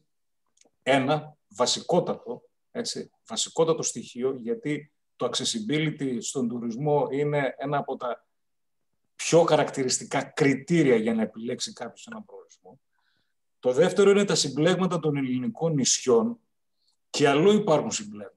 Με μεγαλύτερο αυτό της Ινδονησίας, αλλά τα νησιά της Ιάβας και της Σουμάτρας είναι σαν την Ευρώπη ολόκληρη. Την ιδιαιτερότητα, των χαρακτήρα και την διαφορετικότητα των ελληνικών συμπλεγμάτων δεν τη βρίσκεις πουθενά άλλου. Και το τρίτο είναι ότι δεν βρίσκεις αυτό που λέμε αρχαίο ελληνικό πολιτισμό. Υπάρχουν κάποια ψήγματα στην Ιταλία, κάποια ψήγματα στην ε, ε, Τουρκία δίπλα. Υπάρχει ο πολιτισμός, ο μεγάλος, ο τεράστιος της Αιγύπτου, αλλά αυτό το δικό μας είναι βασικό χαρακτηριστικό. Όταν όλη η υπόλοιπη Ευρώπη είχε αναγέννηση, εμείς εδώ πέρα είχαμε τροκοκρατία, άρα δεν ζήσαμε αυτό το κομμάτι, οπότε μας έχει μείνει αυτή η ιδιαιτερότητα η πολύ από το παρελθόν. Αυτά φυσικά είναι τρεις τεράστιες δυναμικές, ε, οι οποίες ως τεράστιες δυναμικές δικαιολογούν και το εξής φαινόμενο. Εάν πάρουμε την τελευταία κατάταξη του Παγκόσμιου Οργανισμού Τουρισμού με τις χώρες με τις μεγαλύτερες εισρωές τουριστικές παγκοσμίως σε διανυκτερεύσεις, θα δούμε ότι στην πρώτη δωδεκάδα ή ενδεκάδα, δεν θυμάμαι χαρακτηριστικά, είναι του 19 ε, η μελέτη αυτή, ανήκουν μέσα προορισμοί οι οποίοι είναι μεγαθύρια. Ξεκινώντας από τη Γαλλία με τα 90 εκατομμύρια τουρίστες, mm. την Αμερική, τις Ηνωμένες Πολιτείες Αμερικής, την Ισπανία, την Ιταλία, την Τουρκία, την Γερμανία, την Κίνα, κάπου μέσα σε όλες αυτές, οι οποίες και σε πληθυσμό αλλά και σε έκταση είναι τεράστιες, υπάρχει το όνομα Ελλάδα. Κάτω από το όνομα της Αυστρίας. Και η Αυστρία είναι πολύ μικρή σαν χώρα, 8 εκατομμύρια πληθυσμός. Ναι, αλλά κοιτάξτε πού είναι η Αυστρία και τι πουλάει και πού είμαστε εμείς. Η Αυστρία είναι στο κέντρο της Ευρώπης και πουλάει αυτό που όλοι ξέρουμε, το χειμερινό της τουρισμό και της Άλπης, με ό,τι μπορεί να πλέξει γύρω από αυτό το πράγμα. Και εμείς βρισκόμαστε σε μία Μεσόγειο. Αν δει κάποιος τη Μεσόγειο σε έναν τεράστιο χάρτη πλανητικό της Γης, έτσι, θα δει ότι η Μεσόγειος είναι μία γόπα από τσιγάρο. Μία πολύ, πολύ, πολύ, πολύ, πολύ, πολύ, πολύ μικρή περιοχή. Σε αυτή τη δωδεκάδα, έξι από τις χώρες της Μεσογείου είναι brand names. Τα οποία brand names είναι και οι πελάτες μας που έχουμε εμείς αυτή τη στιγμή σε αυτό που λέμε ελληνικές τουριστικές εισρωές κατά κύριο λόγο. Άρα, η Ελλάδα είναι brand name από το 1950. Είπαν οι προηγούμενοι συμμελετήσεις, οι ομιλητές σε άλλες εκπομπές, αναφερθήκαν στη Ρόδο, στη Μύκονο, στην Σαντορίνη. Το 50 η Ρόδος, η Μύκονος και η Σαντορίνη δεν ήταν brand names. Τα brand names της ε, δεκαετίας του 50 ήταν τα λουτρά διψού, όπου ερχόταν όλο το jet set της παγκόσμιας, της αμερικάνικης κυρίως κοινωνίας, έτσι, ε, όλο το Hollywood και έκαναν διακοπές εκεί. Αργότερα τα νησιά αυτά, τη δεκαετία του 70 και του 80, άρχισαν να παίρνουν ε, τα πάνω τους και να γίνονται δημοφιλείς προορισμοί. Ε, άρα μιλάμε για μια χώρα η οποία από μόνη της, και αυτό θα πω πάρα πολλά πράγματα για αυτό που λέμε έρευνα, ε, την ατάκα, η οποία δεν ήταν ατάκα, ήταν πρόκα αυτή που πέταξα προηγουμένως και την πέταξα επίτηδες, δεν μπορούμε να μιλάμε για τουρισμό. Φέρτε μου όποιον θέλετε απέναντί μου όταν βγάζουμε απ' έξω τη μεθοδολογία και την έρευνα, την επιστημονική έρευνα σε αυτό που λέμε τουριστική ανάπτυξη. Δεν υπάρχει περίπτωση να δημιουργήσεις, θα διαφωνήσω με την κυρία Πέτη ε, Χάτζη Νικόλαου, έτσι, ο τουρισμός δεν είναι προϊόν. Ο τουρισμός είναι, ο πολιτισμός δεν είναι προϊόν. Είναι αγαθό. Είναι αγαθό είναι άθροισμα προϊόντων και υπηρεσιών. Άρα πας σε αγαθά και εμπειρίες, όχι προϊόντα και εμπειρίες. Έτσι, να το ξεχωρίσουμε αυτό είναι πάρα πολύ ε, σημαντικό. Το προϊόν είναι κάτι το οποίο είναι εμπορευματικό προϊόν και η υπηρεσία είναι κάτι το οποίο ε, ανήκει κάπου αλλού. Λοιπόν, ε, δεν μπορούμε λοιπόν να μιλάμε για τουριστική ανάπτυξη όταν αυτή τη στιγμή σε παγκόσμια βάση και το βλέπουμε, το έχουμε συζητήσει πάρα πολλές φορές. Μιλήστε με συναδέλφους από το Πανεπιστήμιο Πυραιός, με την κυρία Ζούνη, μιλήστε, είχατε την προηγούμενη εβδομάδα τον κύριο Παπαθεοδόρο από το Αιγαίο, μιλήστε με την, ε, ε, ε, με την κυρία Κωστοπούλου από το, από το, από το ΑΠΙΘΙΤΑ. Υπάρχουν περισσότερα από 100 διεθνή τουριστικά επιστημονικά περιοδικά τα οποία δημοσιεύουν έρευνες. Θα διαφωνήσω κάθετα με κάποιον ομιλητή σας που είχατε φέρει σε ε, κάποια εκπομπή αρκετό καιρό πριν από την Ρόδο, ο οποίος είπε ότι η έρευνα, ναι, η έρευνα είναι διαφορετικό κομμάτι από ότι είναι η καθημερινότητα που ζει ένας ξενοδόχος ή ένας εστιατόρας, αλλά για να κάνει ο ξενοδόχος και ο εστιατόρας αυτό που πρέπει να κάνει σωστά, θα πρέπει να πατήσει επάνω στην έρευνα. Γιατί ένας επιχειρηματίας, ο οποίος θέλει και σέβεται να βγάλει το προϊόν του σωστά σε μία αγορά, σέβεται την επιχείρησή του, έτσι, θα κάνει έρευνα αγοράς, θα κάνει έρευνα ανταγωνιστών. Εγώ και θα όχι ήθελα να, να πω... πει, Να... Σωστό. και Να όχι να διακόψω πει λίγο ότι να πω... φέτος θα έρθουν 30% σε αυτό το νησί, 40% με αυτά τα χαρακτηριστικά και 35% χαρακτηριστικά. Αυτά ε, δεν εγώ- πάνε πουθενά. Αυτά να- είναι να- κάποια να πω- απλά Να πω, να ποσοτικά. πω λίγο κάτι, να διακόψω δύο δευτερόλεπτα εδώ να πω κάτι. Παρακαλώ. επειδή και εγώ προφανώς είμαι αντίθετος στη θέση αυτή που είχε πει ο προηγούμενος ο μιλητής, ο οποίος είναι στενός φίλος προσωπικός και ε, ένας άνθρωπος με συγκεκριμένη εστίαση, νομίζω ότι αυτά είναι απόνερα μιας τεράστιας χρονικά εποχής, δεν ξέρω, 30-40 χρόνων θα έλεγα συνεχόμενος, όπου επειδή ο, ο τουρισμός στην Ελλάδα στην προ-COVID εποχή ήταν ένα προϊόν στο ράφι διαθέσιμος οποιαδήποτε στιγμή και χωρίς πρόβλημα, δεν είχαμε μάθει ως κλάδος, θα έλεγα. Δεν αφορά μόνο τη ρόδα αυτό ή μόνο το μαζικό τουρισμό. Όλος, όλη η ανάπτυξη του τουρισμού, νομίζω ότι ο Δημήτρης Αντωνάκος το είπε νωρίτερα ή ο Μιχάλης δεν θυμάμαι το Ανόγλου, είναι ότι αφήνεις το πράγμα ανεξέλεγκτο να τρέχει γιατί σου δημιουργεί εισρωές, σου δημιουργεί, σου καλύπτει θέσεις εργασίας κτλ.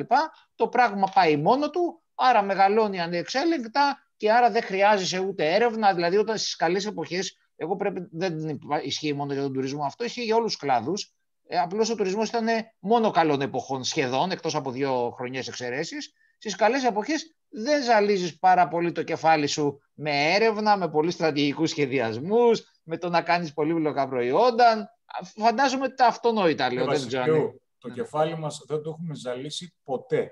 Σωστό Έτσι. είναι αυτό. Αυτό ακριβώς λέω. Είτε Ακριβώς το ήταν ίδιο. καλές οι εποχές, Ναι, ναι. είτε ήταν κακές οι εποχές. Αν θα πάρουμε... Ο τουρισμός δεν ξέρω αν είχε κακές εποχές στην Ελλάδα, ίσως δύο χρονιές μόνο. Λοιπόν, Ε, πάντως, ε, πρέπει να πω σε αυτό που λέει ο κύριος Μεταξάς και επειδή Δημήτρη το έχουμε πει και εμείς ε, Σωστό. κατη- κατηδίαν, αυτό ε, που θίγει τώρα είναι ε, μια ε, παθολογία της ελληνικής κοινωνίας σε διάφορα επίπεδα. Βεβαίως, Έτσι. βεβαίως. Δεν έχει να κάνει δηλαδή τώρα με τον τουρισμό, ούτε επειδή ο τουρισμός πήγε καλά. Ε, είναι ένα, ένα συνολικό πρόβλημα. Καλά κάνουμε και το θίγουμε και θεωρώ ότι πρέπει πλέον να αρχίσει να μας απασχολεί το πώς θα προγραμματίζουμε, θα ερευνούμε και θα μεθοδεύουμε Και αν μου πράγματα. επιτρέπει ο κύριος Μεταξάς για να το ξανακάνω την πάσα πριν περάσουμε στον Αλέξανδρο, η διασύνδεση της έρευνας των πανεπιστημίων δηλαδή με, την, ε, με τον ιδιωτικό τομέα και την βιομηχανία, το industry που λέμε, προφανώς είναι ένα πρόβλημα στον τουρισμό πάρα πολύ. Δεν ξέρω καλά-καλά πόσες σχολές ε, ε, ΑΕΗ έχουμε στον τουρισμό, νομίζω πολύ πρόσφατα αποκτήσαμε. Και φαντάζομαι ότι είναι τόσο μεγάλο στον τουρισμό, όσο λίγο πολύ είναι και στους υπόλοιπους κλάδους ελληνικής οικονομίας. Δεν ξέρω αν έχει την ίδια εικόνα, πριν που δώσουμε το λόγο στους άλλους. υπάρχει διαφορετικότητα, κύριε Βασιλείου, αναφορικά με τον τουρισμό. Ο τουρισμός είναι ένας από τους τρεις πυλώνες της ελληνικής οικονομίας. Ο δεύτερος είναι η αγροτική παραγωγή και ο τρίτος είναι η ναυτιλία. Αυτοί είναι οι τρεις πυλώνες που έχουμε. Μην παίζει το μυαλό σας με κάποιον άλλον πυλώνα, γιατί δεν υφίσταται. Αυτοί είναι οι τρεις βασικοί πυλώνες. Όταν βγαίνει ο ΟΣΑ το 2019 και μέσα στις 35 περισσότερο εξαρτημένες χώρες για τον τουρισμό έχει την Ελλάδα στην έκτη θέση και στις πιο εξαρτημένες περιφέρειες έχει την Κρήτη, τα Δωδεκάνησα και τα Ιόνια νησιά με ποσοστό του ΑΕΠ άνω το 90% να προέρχεται από τον τουρισμό. Σωστό. Εγώ δεν θέλω κάτι άλλο για να βάλω τα πράγματα στη θέση τους και να πω ότι με αυτό το κομμάτι θα πρέπει να ενεργήσω όπως κάναμε όταν ήρθε ο COVID, κύριε Βασιλείου. Τότε είδατε μαζί ότι σας η είμαι. κυβερνητική πολιτική έτσι, ένυψε Έτσι. τα χέρια της, πέρασε στην άκρη και άφησε τους γιατρούς να βγάλουν το φίδι από την τρύπα. Ανοίγουμε τρομερά όμορφα, γιατί- όμορφη ναι, κουβέντα. Μπορείτε πάρα πολύ. Είσαστε πολύ δικός μου, εσείς είσαστε Λοιπόν, πολύ. Δεν προσέξτε ήξερα, να δείτε. δεν ήξερα θα το Προσέξτε- λέγατε να σας είχαμε βγάλει από την πρώτη εκπομπή. Δεν Προσέξτε ήξερα να θα δείτε. λέγατε αυτό. προσέξτε να δείτε, φέρανε τους ειδικούς, φέρανε τους ειδικούς να μιλήσουν για το COVID. Στην Ελλάδα και στον τουρισμό, ξέρετε πώς είναι ειδικοί; 11 εκατομμύρια Έλληνες. 11 εκατομμύρια Έλληνες είναι ειδικοί.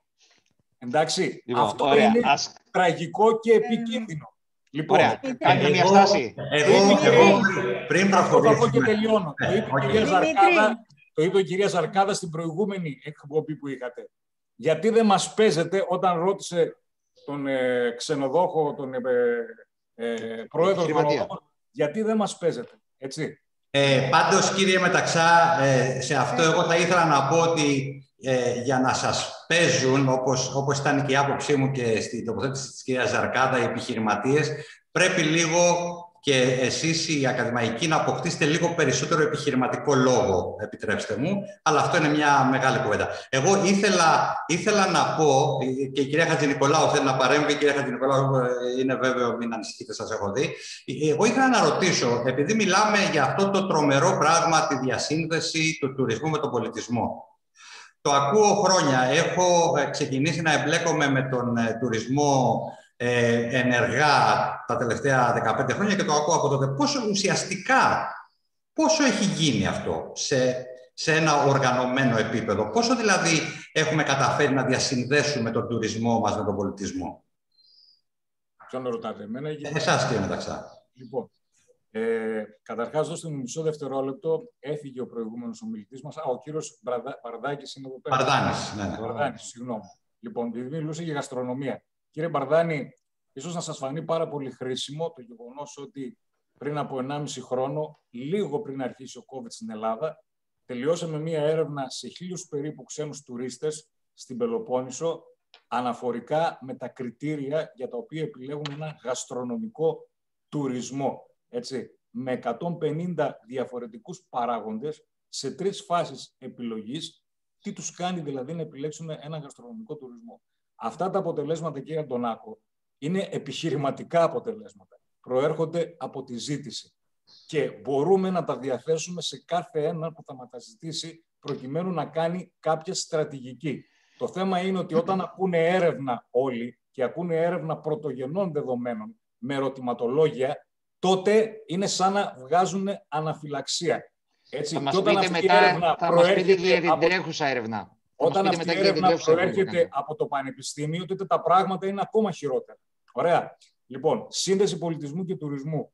Ο πολιτισμός είναι, όπως είπα προηγουμένως, ένα πολύ ισχυρό κομμάτι της, ε, της χώρας μας. Όχι, δεν υπάρχει η σύνδεση του πολιτισμού με τον τουρισμό. Γιατί, γιατί αν ασκάψουμε όλη την Ελλάδα, το ξέρει καλύτερα η κυρία Χατζη Νικολάου, συγγνώμη αν λέω λάθος το επίθετό σας ή αν ισχύει. Σωστά το ε, λέτε. Σωστά το λέω. Λοιπόν, θα δούμε ότι υπάρχουν περιοχές οι οποίες έχουν τεράστιες δυναμικές και πάρα πολλές ιδιαιτερότητες. Αυτές τις ιδιαιτερότητες θα πρέπει να τις αναδείξουμε. Η κυρία Μπατζή προηγουμένως αναφέρθηκε σε αρχαιολογικά ευρήματα στην Πάρου. Εμένα μου είναι άγνωστα τα αρχαιολογικά ευρήματα. Εγώ θέλω, και το εδώ πέρα μιλάω ως τεχνοκράτης οικονομολόγος, είτε μιλήσω για πολιτισμό, είτε μιλήσω για μέγα event, είτε μιλήσω για οτιδήποτε άλλο. Θέλω αυτός ο οποίος θα έρθει να δει την πολιτιστική μου διαδρομή, να δει το μνημείο μου, να μου κάνει διανυκτέρευση. Δεν τον θέλω να έρθει να πληρώσει και να σηκωθεί να φύγει να γυρίσει. OK, okay. okay. μια χαρά. Να, να, να, να βάλουμε λίγο. Όπα, λοιπόν. μια στάση, μια στάση σε όλους. Μια στάση σε όλους. Μια παρέμβαση δύο λεπτών από την Μπέτη Χατζηνικολάου για να πάμε μετά να κάνουμε τη γέφυρα με τη Νάξο που την έχουμε αφήσει στη μέση. Λοιπόν, ε, καταρχήν θέλω να πω ότι μακριά από μένα το να θεωρηθώ ότι δεν είμαι με τις... Συγγνώμη.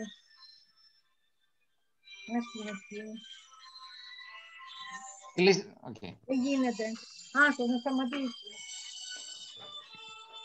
Είδεστε το ανάποδα, κυρία Χατζηνικολάου. Μια Πάμε. Λοιπόν, ε, ήθελα να πω ότι πρώτον μακριά από μένα τον έχω ε, πει χωρίς να το θέλω, δεν ξέρω αν έδωσε την εντύπωση, ότι με ενάντια στις μελέτες και τις έρευνες. Διότι έχω φάει... Όχι, δεν ήταν, Μπέτη, δεν ήταν για ναι. σένα. Ήτανε... Θέλω όμως να το πω. Αν με επιτρέπετε, θέλω να το πω. Έχω φάει τη μισή μου ζωή στο ΝΕΟΤ, να είμαι επικεφαλής της υπηρεσίας μελετών ερευνών, ε, η οποία έδινε, ανέθετε, σειρά κατά, χρόνια ολόκληρα και σε πανεπιστημιακούς φορείς στην Ελλάδα, ε, σειρά μελετών και πρωτογενών ερευνών. Επομένως, είμαι ο τελευταίος άνθρωπος που θα έλεγε ότι δεν χρειάζονται. Ένα δεύτερο θέμα είναι ότι αυτό που είπα για το διάζωμα, ουσιαστικά τι ήταν, ότι το διάζωμα αναθέτει μελέτες. Κάνει μελέτες τις οποίες το Υπουργείο Πολιτισμού για διάφορους λόγους δεν μπορεί να αναθέσει, είτε γιατί δεν έχουν προβλεφθεί κονδύλια, είτε γιατί οι υπηρεσίες του είναι μέχρι εκεί, δεν παίρνει άλλο. Και θέλω να πω και ένα πολύ χαρακτηριστικό πράγμα για την ερώτηση που θέσατε, κατά πόσον υπάρχει πραγματική σύνδεση τουρισμού και πολιτισμού. Ένα πολύ χαρακτηριστικό παράδειγμα είναι την περίοδο που τα δύο Υπουργεία ενώθηκαν. Δεν ξέρω αν τη θυμόσαστε. Εκείνη την περίοδο λοιπόν που έπρεπε να δοθεί έστω συμβολικά αν θέλετε ένα μήνυμα ότι αυτά τα δύο μπορούν να συνενωθούν, να συνεργαστούν και να πάνε καλά. Δεν έγινε όσο ήταν τα δύο Υπουργεία Ενωμένα ούτε μία κοινή δράση. Αν αυτό σας λέει τίποτα. Ωραία. Εγώ να, μεταφράσω, να το μεταφράσω αυτό Έχουμε αφήσει τον Αλέξανδρο, έχουμε, έχουμε αφήσει τον Αλέξανδρο και την Άξο. Δημήτρη, μόνο αυτό θέλω να πω και τελειώνω, ότι θέλω όταν τελειώσει ο Αλέξανδρος ο Τσατσαρούνος να μου δώσει το λόγο, γιατί με σταμάτησες εκεί που είχα αρχίσει να λέω για το διάδρομο. Ωραία, να πούμε λίγο κάτι. Ε, διέφυρα στον Αλέξανδρο, ο οποίος είναι συνεργάτης σου και άρα έχει φίλος. παραστάσεις, έχει και φίλους, okay, φίλος και συνεργάτης, ο οποίος έχει παραστάσεις και από τα κομμάτια με τα οποία εμπλέκεσαι και από το διάσημο και, και από την άξο. Εγώ θα ήθελα να πω για να γεφυρώσω τις δύο προηγούμενες αντιρρήσεις ότι υπάρχει ένας κοινός τόπος. Ο τουρισμός από τη μια και τη Ελλάδα με ό,τι αντανακλαστικά υπάρχει ένα perception, μην κρυβόμαστε. Όταν στην Ελλάδα λέμε πολιτισμό, το 80% του κόσμου εννοεί αρχαία. Και μάλιστα θα έλεγα το 95% και των ξένων ίσως. Οπότε το όταν, όταν λοιπόν όλα αυτά τα έχεις τζάπα, σε αυθονία, χωρίς καμία προσπάθεια, η πίεση που έχεις, αν δεν είσαι Γερμανία σαν νοοτροπία, η πίεση που έχεις να τα ενώσεις και να τα εξορθολογικεύσεις είναι μηδέν έως μείον άπειρο. Αυτό έχει σημαίνει στην Ελλάδα δεν χρειάζεται να κουραζόμαστε πάρα πάρα πολύ. Ερχόμαστε τώρα να δούμε αν για αυτά μπορούμε να κάνουμε κάτι. Υπόθηκε προηγουμένως για την άξο ο πρόεδρος των ξενοδόχων είπε μερικά πράγματα. Το διάζωμα έχει προσπαθήσει να κάνει εκεί ένα σχεδιασμό. Ο Αλέξανδρος που ξέρει και την άξο και τη δουλειά που κάνει μαζί για την γαστρονομία και το πολιτιστικό κομμάτι των διαδρομών και ξέρει τι γίνεται εκεί, ας μας πει τι θα μπορούσε κανείς για παράδειγμα να κάνει ή τι προσπαθεί να κάνει μια, ε, κάποιος που ονειρεύεται μια πολιτιστική διαδρομή στην Άξο. Να ξεκινήσουμε από κάτι άλλο όμως, πολύ γρήγορα. Ε, σε αυτό που αναφέρθηκες έτσι ακροθυγός τώρα, ε, στο τι είναι πολιτισμός, τι είναι τουρισμός. Στην πραγματικότητα, πολιτισμός δεν είναι τα αρχαία. Πολιτισμός είναι και η καθημερινότητα. Πολιτισμός είναι πολλά πράγματα. Πολιτισμός είναι οι αγροτοδιατροφικές συνήθειες. Σωστό. Πολιτισμός είναι τα επαγγέλματα. Πολιτισμός είναι τα τραγούδια. Πολιτισμός είναι πάρα πολλά πράγματα. Ε, ο τουρισμός δεν είναι από την άλλη, για να το νοηματοδοτήσουμε σωστά, δεν είναι το πάω 7 μέρες σε μια παραλία, κάθομαι ψήνομαι στον ήλιο, φεύγω, βάζω τις κρέμες μου που επειδή έχω καεί και πάω σπίτι. Αυτό δεν είναι τουρισμός. Αυτός είναι ένας τουρισμός που βόλεψε ε, προγραμματικά και εμπορικά τους tour operators για να ομογενοποιήσουν προορισμούς, να τους διευκολύνει τι σημασία έχει που πετάω, αν πετάω στην Πάρο, βόλεψε στην Μαγιόρκα. Βόλεψε και εμάς, Αλέξανδρε, μην κρυβόμαστε. Βόλεψε εμάς μας βόλεψε ακόμα περισσότερο. Πάμε λοιπόν να δούμε τώρα. Γιατί φτιάξαμε μια τάξη ανθρώπων που δουλεύει τέσσερις μήνες, πέντε μήνες. Δούλευε, δεν δουλεύει. Ε, τέσσερις μήνες και βιοποριζόταν 12. Πάμε να δούμε την εναλλακτική. Πάρα πολύ με, τα, με την uh, πρόεδρο των ξενοδόχων Πάρου και τον πρόεδρο των ξενοδόχων Νάξου, οι οποίοι είναι νέοι άνθρωποι και δείχνουν ότι έχουν τελείως διαφορετική νοοτροπία. Πάμε να δούμε εκεί λοιπόν τώρα. Λοιπόν, πάμε τώρα. Το τι είναι πολιτιστικές διαδρομές αναφέρθηκε η Μπέτη. Δεν θα τη λέω κυρία Χατζη Νικολάου, Μπέτη θα τη λέω, φίλοι είμαστε. Ε, ε, οι πολιτιστικές διαδρομές λοιπόν δεν, ε, δεν έχουν αυτή την αντίληψη, αυτό το perception που έλεγες προηγουμένως του τι είναι πολιτισμός. Πολιτισμός είναι τα πάντα. Η Νάξος λοιπόν ήταν ένας ιδανικό προορισμός για να γίνει και σχεδιασμός και υλοποίηση ενός τέτοιου ε, προγράμματος. Γιατί ξέρεις, υπάρχει και αυτή η παρανόηση το τι είναι πολιτιστική διαδρομή. Πολλοί δεν έχουν καταλάβει τι είναι πολιτιστική διαδρομή. Ακόμα και στην Άξο έχω ακούσει ανθρώπους που θεωρούν ότι οι πολιτιστικές διαδρομές είναι κάτι ανάλογο των πεζοπορικών διαδρομών mm. ή ότι είναι ε, εκδρομή. Ότι μπαίνεις σε ένα πούλμα, ας πούμε, ξεκινάς από τη χώρα της Νάξου, καταλήγεις στον Απόλλωνα και γυρίζεις πίσω. Δεν είναι τίποτα τέτοιο. Ε, είναι μια μεγάλη κουβέντα να το συζητήσουμε τώρα τι είναι. Αλλά τέλος πάντων είναι ένα, όπως το λέει και το διάσημα, ολιστικό πρόγραμμα, δεν το λέει πολιτιστικού τουρισμού, Πέτει. Καλά, δεν το Ναι. λέω. Ένα ολιστικό πρόγραμμα πολιτιστικού τουρισμού, στο οποίο η κεντρική του πόλη κάθε φορά είναι το σημαντικό, ας πούμε, σημείο του, του προορισμού, τα σημαντικά σημεία του προορισμού ή αυτά που είναι πολύ εύκολο, ευκολότερο να προωθηθούν, να γίνουν γνωστά. Στην άξον προκειμένου είναι 8, αν θυμάμαι καλά, είναι η Πορτάρα, είναι Μμ. ε, ο, το ιερό του Διόνυσου, είναι το ιερό του Απόλλωνα, ε, είναι η Βυζαντινή Ναή, αυτό που το λένε Βέβαια. ο, να- ο Ναξιώτικος Μιστράς που λένε, ε, είναι η Απίρανθος με τα μουσεία της, ε, τα σμιδερο- σμυριδορυχεία, αυτό που λέγαμε ότι ο πολιτισμός δεν είναι μόνο τα αρχαία. Πέρα από, αυτές όμως τις, ε, από αυτούς τους πόλους υπάρχουν και αυτές οι κάθετες, ας πούμε, τοπικές πολιτιστικές διαδρομές. Οι κάθετες διαδρομές που ξεκινάνε από τον κάθε άξονα ή καταλήγουν σε αυτό, δεν έχει καμία σημασία. Δηλαδή, στην, ε, όταν πάρουμε την Πορτάρα ως πόλο, ε, τον ναό του Απόλλωνα δηλαδή, ε, έχουμε, μπορούμε να εντάξουμε σε μια τοπική διαδρομή της χώρας την, το κάστρο, το μεσαιωνικό οικισμό, τη γρότα, το, τα μουσεία βεβαίως, ή αν πάρουμε τα ορεινά χωριά. Εκεί μπορούμε να εντάξουμε αγροτοδιατροφικές ε, συνήθειες, γαστρονομία, φαγητό, επαγγέλματα. Ε, υπάρχουν στάνες. Τα οποία υπάρχουν- στην ορεινή Νάξο χάνονται και άρα προσπαθούμε να τα διατηρήσουμε, υποθέτω. Άρα η Ουσιαστικά λογική αυτή είναι και η λιγότερο προσβασιμότητα. δημ... Ακριβώς. Γιατί μπαίνουμε στο τι είναι τουρισμός ποιότητας, που είναι κάτι που το ακούμε πολύ συχνά τελευταία, παντρεμένα με τον τουρισμό εμπειρίας, είναι οι νέες καραμέλες. Ε, Σωστό. τουρισμός εμπειρίας υπήρχε πάντοτε. Ο τουρισμός προσφέρει εμπειρία. Αυτό το λέω και θα το φωνάζω. Ο τουρισμός προσφέρει εμπειρία. Το θέμα είναι αν θα είναι καλή ή κακή εμπειρία. Δεν είναι να προσφέρουμε, να μετονομάσουμε τις εκδρομές μας σε εμπειρίες και κάτι κάναμε, γιατί αυτό γίνεται εν, εν πολλής. Τέλος πάντων. Mm. Ε, και ποιοτικός τουρισμός δεν, ο ποιοτικός τουρισμός δεν εξαρτάται από το έσοδο μόνο. Δεν σημαίνει ότι οπωσδήποτε είναι ποιοτικό το ότι έχω πελάτες που μου πληρώνουν 500 ευρώ τη βραδιά για να μένουν σε ένα δωμάτιο. Οκ. Η ποιότητα ε, συναρτάται από πολλά πράγματα. Βασικό, το κύριο, είναι η προσφορά του τουρισμού και των τουριστών στη βιωσιμότητα του τόπου. Στο να μην φύγει ο κόσμος από τον τόπο, να μην φεύγει έστω το χειμώνα. Στο να ε, ζήσουν και να προοδεύσουν οι τοπικές επιχειρήσεις. Στο να βελτιωθούν οι υποδομές. Βέβαια και για τον ίδιο τον τουρίστα, η, ε, τον επισκέπτη, οι υπηρεσίες που θα πάρει, οι εμπειρίες που θα κερδίσει που λένε, να είναι ε, αυτές που έχει προγραμματίσει, αυτές που του έχουν υποσχεθεί και αυτές που έχει πληρώσει.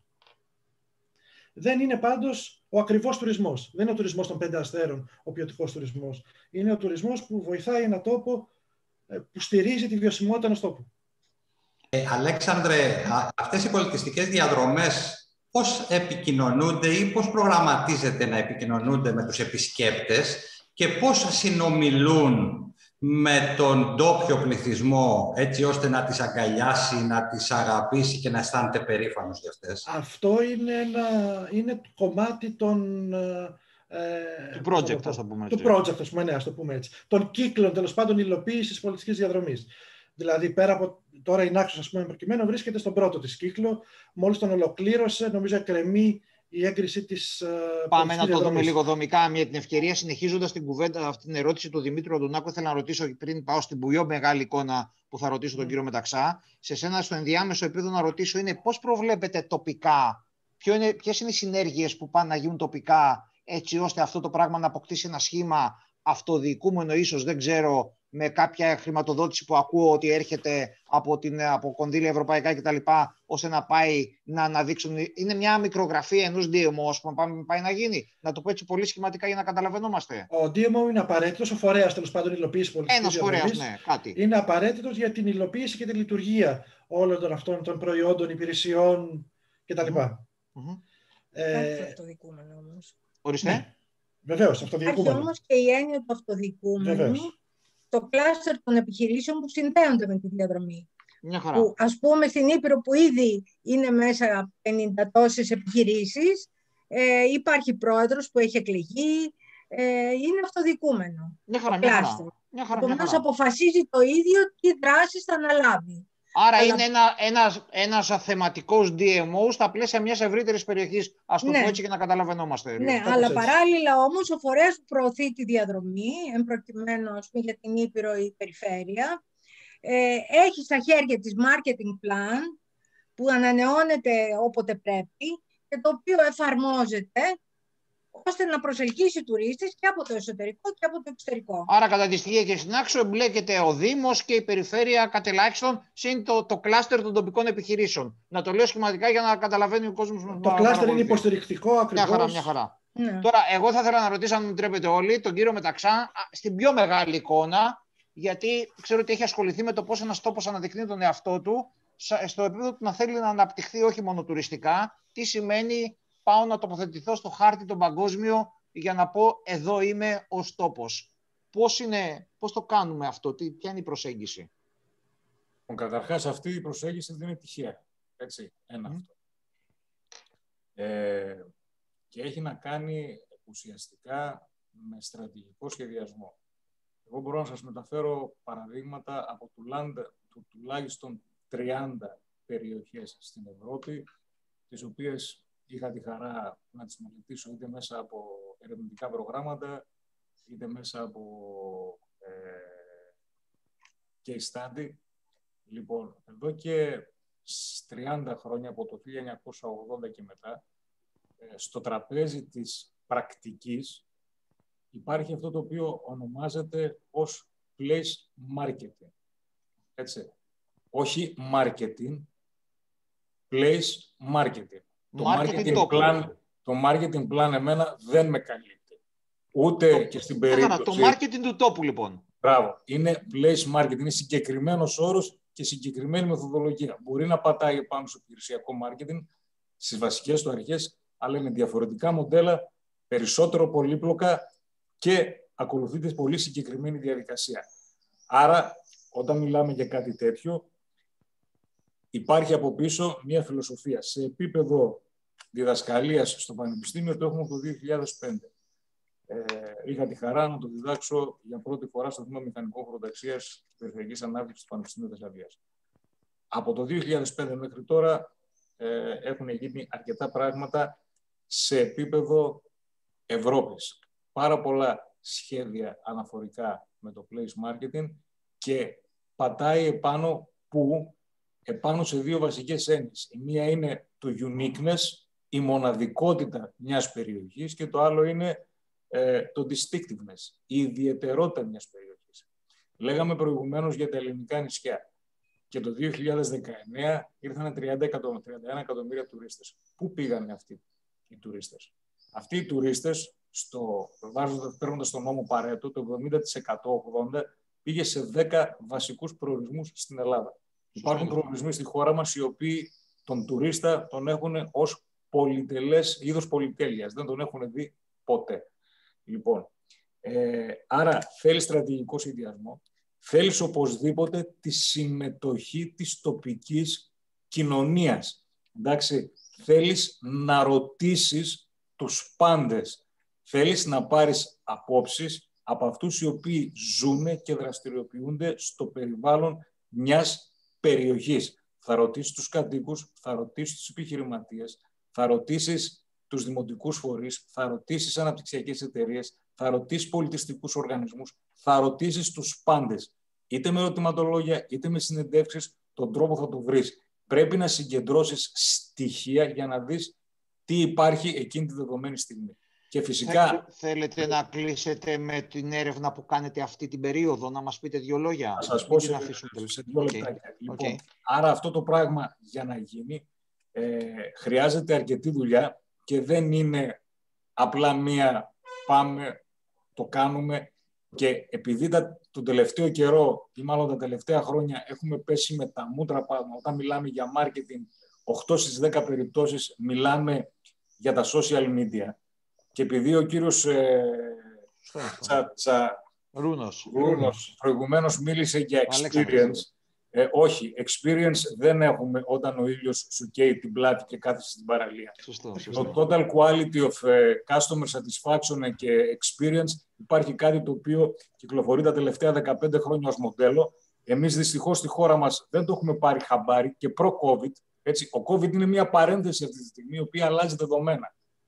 Έπρεπε ήδη να έχουμε αλλάξει μοντέλο. Θα σας πω για την έρευνα, η οποία η έρευνά μας λέγεται κατά πόσο πρέπει να πάμε σε κάποιο καινούριο μοντέλο ε, τουριστικής ανάπτυξης. Αυτό έπρεπε ήδη να το έχουμε κάνει.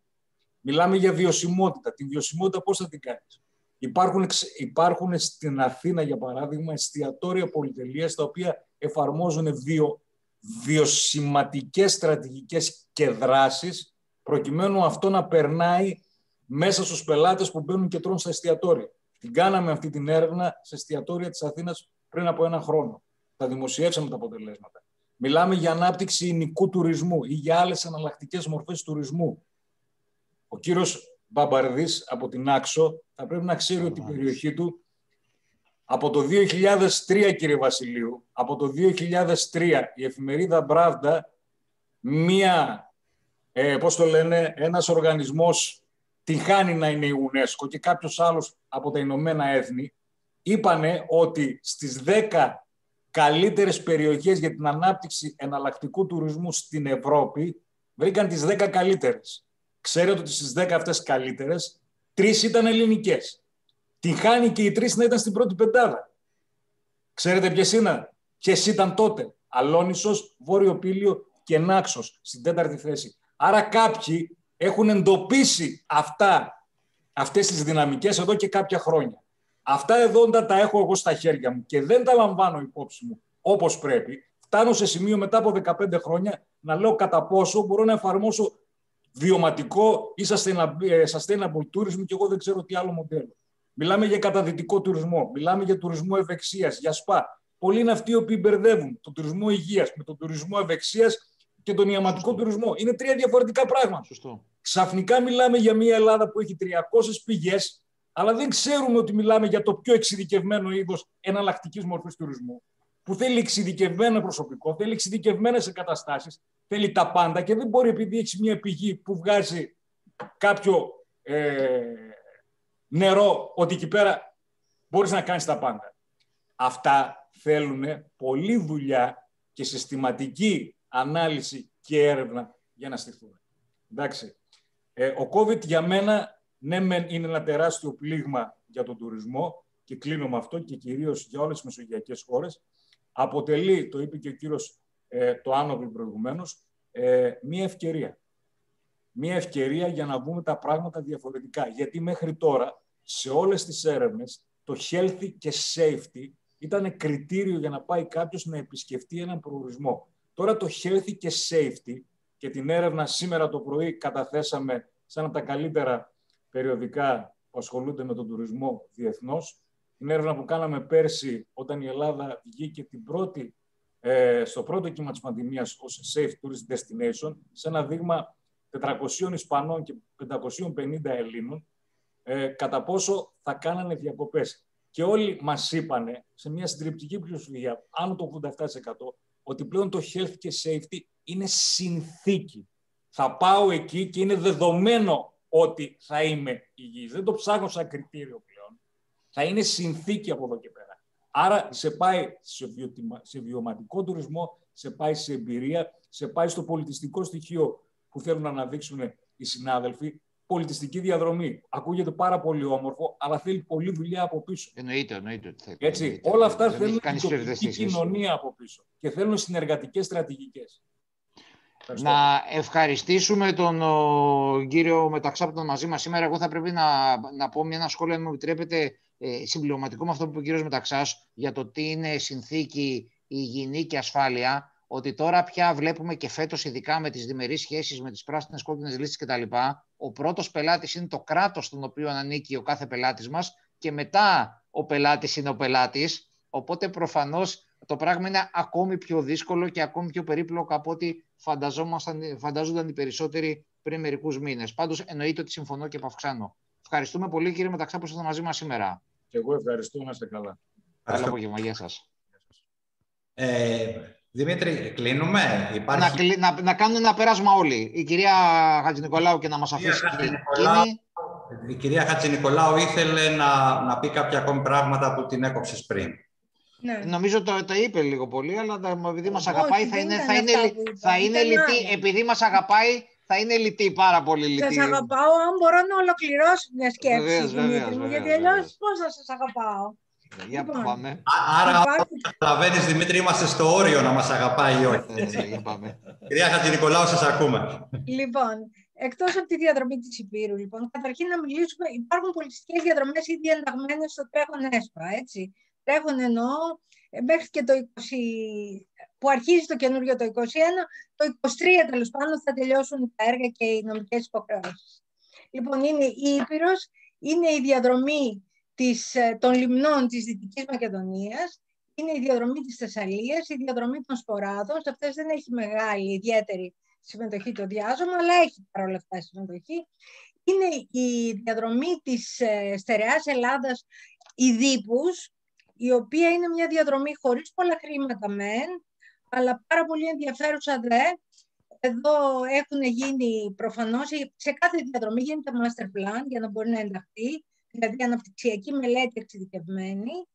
Ε, γίνεται marketing plan, ε, λυπάμαι, δεν, δεν συμφωνώ με το... Δεν πειράζει, μην το περί- λύσουμε το place, ακαδημαϊκό ναι. σήμερα. Μην το Μην λύσουμε το σήμερα, λύσουμε, ναι. ναι.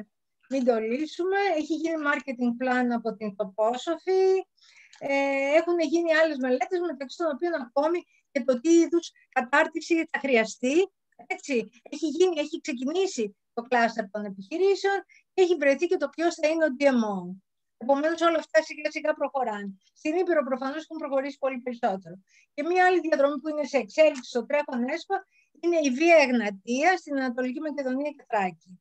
Εγώ Υπάρχουν μια οι τελε- διαδρομές. Έχω μια ερώτηση να κάνω, μπορώ διαδικαστική, μια διαδικαστική ερωτησούλα; Μάλιστα, μάλιστα. Είναι, είναι top-down η προσέγγιση, δηλαδή έχει κάποιος μια ιδέα ή ο τόπος έρχεται και σας βρίσκει; Ε, στη- ε, στην αρχή πήγαμε εμείς και βρήκαμε τον Περιφερειάρχη. Φυσικά γίνεται διαβούλευση, έτσι.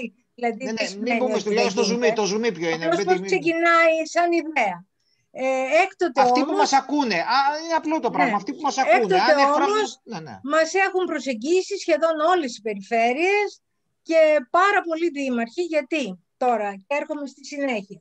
Υπάρχουν διαδρομές που έχουν ξεκαθαριστεί ότι θα προχωρήσουν με το επόμενο ΕΣΠΑ 2021-2027. Και αυτές είναι στην Κεντρική Μακεδονία, η διαδρομή Αλέξανδρος, στην Ετωλοκαρνανία. Μια πολύ σημαντική είναι η λεγόμενη τριλογία της Αττικής, δηλαδή Ελευσίνα, Αθήνα, Λαύριο. Ελευσίνα, Λαύριο τελείως χαμένα, χαμένη ε, τρομακτική σημασία σε αρχαιολογική χώρη. Λίγο πολύ τους ξέρουν οι επισκέπτες μας, ε, δεν ασχολείται κανείς, δεν υπάρχουν επισκέψεις κλπ. Ε, η διαδρομή Μορέα στην Πελοπόννησο και μια διαδρομή στα Ιόνια νησιά και μια στην Κρήτη με κεντρικό, σημείο, το- με κεντρικό ε, στοιχείο το Μίνωα, τα μινοϊκά δηλαδή. Τώρα, επίσης προχωράνε τρία αρχαιολογικά πάρκα, ένα στον Ορχομενό, εντάσσεται στη διαδρομή της Στερεάς Ελλάδας, ε, ένα στην Ολυμπία και ένα στην Επίδαυρο. Και επίσης υπάρχουν και παρεμβάσεις σε πόλεις, είναι το πρόγραμμα πόλης, ε, μέσα από βιώσιμη αστική ανάπτυξη ή όχι, ανάπτυξη ή όχι, στην Κομωτινή, στην Κοζάνη, στη Λάρισα, στη Θήβα, ε, στο Ηράκλειο και στην Καλαμάτα. Επομένως, ε, εκεί πάντα κάτι είτε μοχλεύει το διάζωμα, δηλαδή ε, βάζεις κάποια χρήματα, παράγεις κάποια πράγματα και τελικά οδηγείς στο να εξασφαλιστούν πόροι και να γίνουν πολύ μεγαλύτερες παρεμβάσεις. Επαναλαμβάνω, μιλάμε για ολοκληρωμένες παρεμβάσεις πολυτομεακές και πολυθεματικές λίγο πολύ, αλλά με επίκεντρο τον πολιτισμό. Ε, είτε δίνεις τεχνογνωσία, έχει δημιουργηθεί και μια δομή νέων ανθρώπων στο διάζωμα, διαφόρων ειδικοτήτων που ε, πηγαίνει εκεί επί τόπου και βοηθάει και τους επιχειρηματίες και τις διαχειριστικές αρχές κλπ. Μια χαρά. Επομένως, λίγο πολύ αυτά κάνει το διάζωμα για, την, ε, για τον ισιωτικό χώρο εκτός από την, ε, ε, τα, τη διαδρομή των Ιωνίνων για το επόμενο ΕΣΠΑ. Έχει προτείνει τη διαδρομή της Νάξου και μία διαδρομή ε, πολιτιστική στη Σαντορίνη. Ε, να δούμε σε τι βαθμό αυτά θα προχωρήσουν. Στην Άξο έχει ολοκληρωθεί και η διαβούλευση. Ε, όχι μόνο με Μια το χαρά. Δήμο, με την τοπική κοινωνία. Μια χαρά, μια χαρά. Ωραία. Αυτά. Ε, είμαστε Εγώ επανα- κομπλέ, κλείνω είμαστε κομπλέ από λέγοντας το πολιτισμό εξής. σήμερα.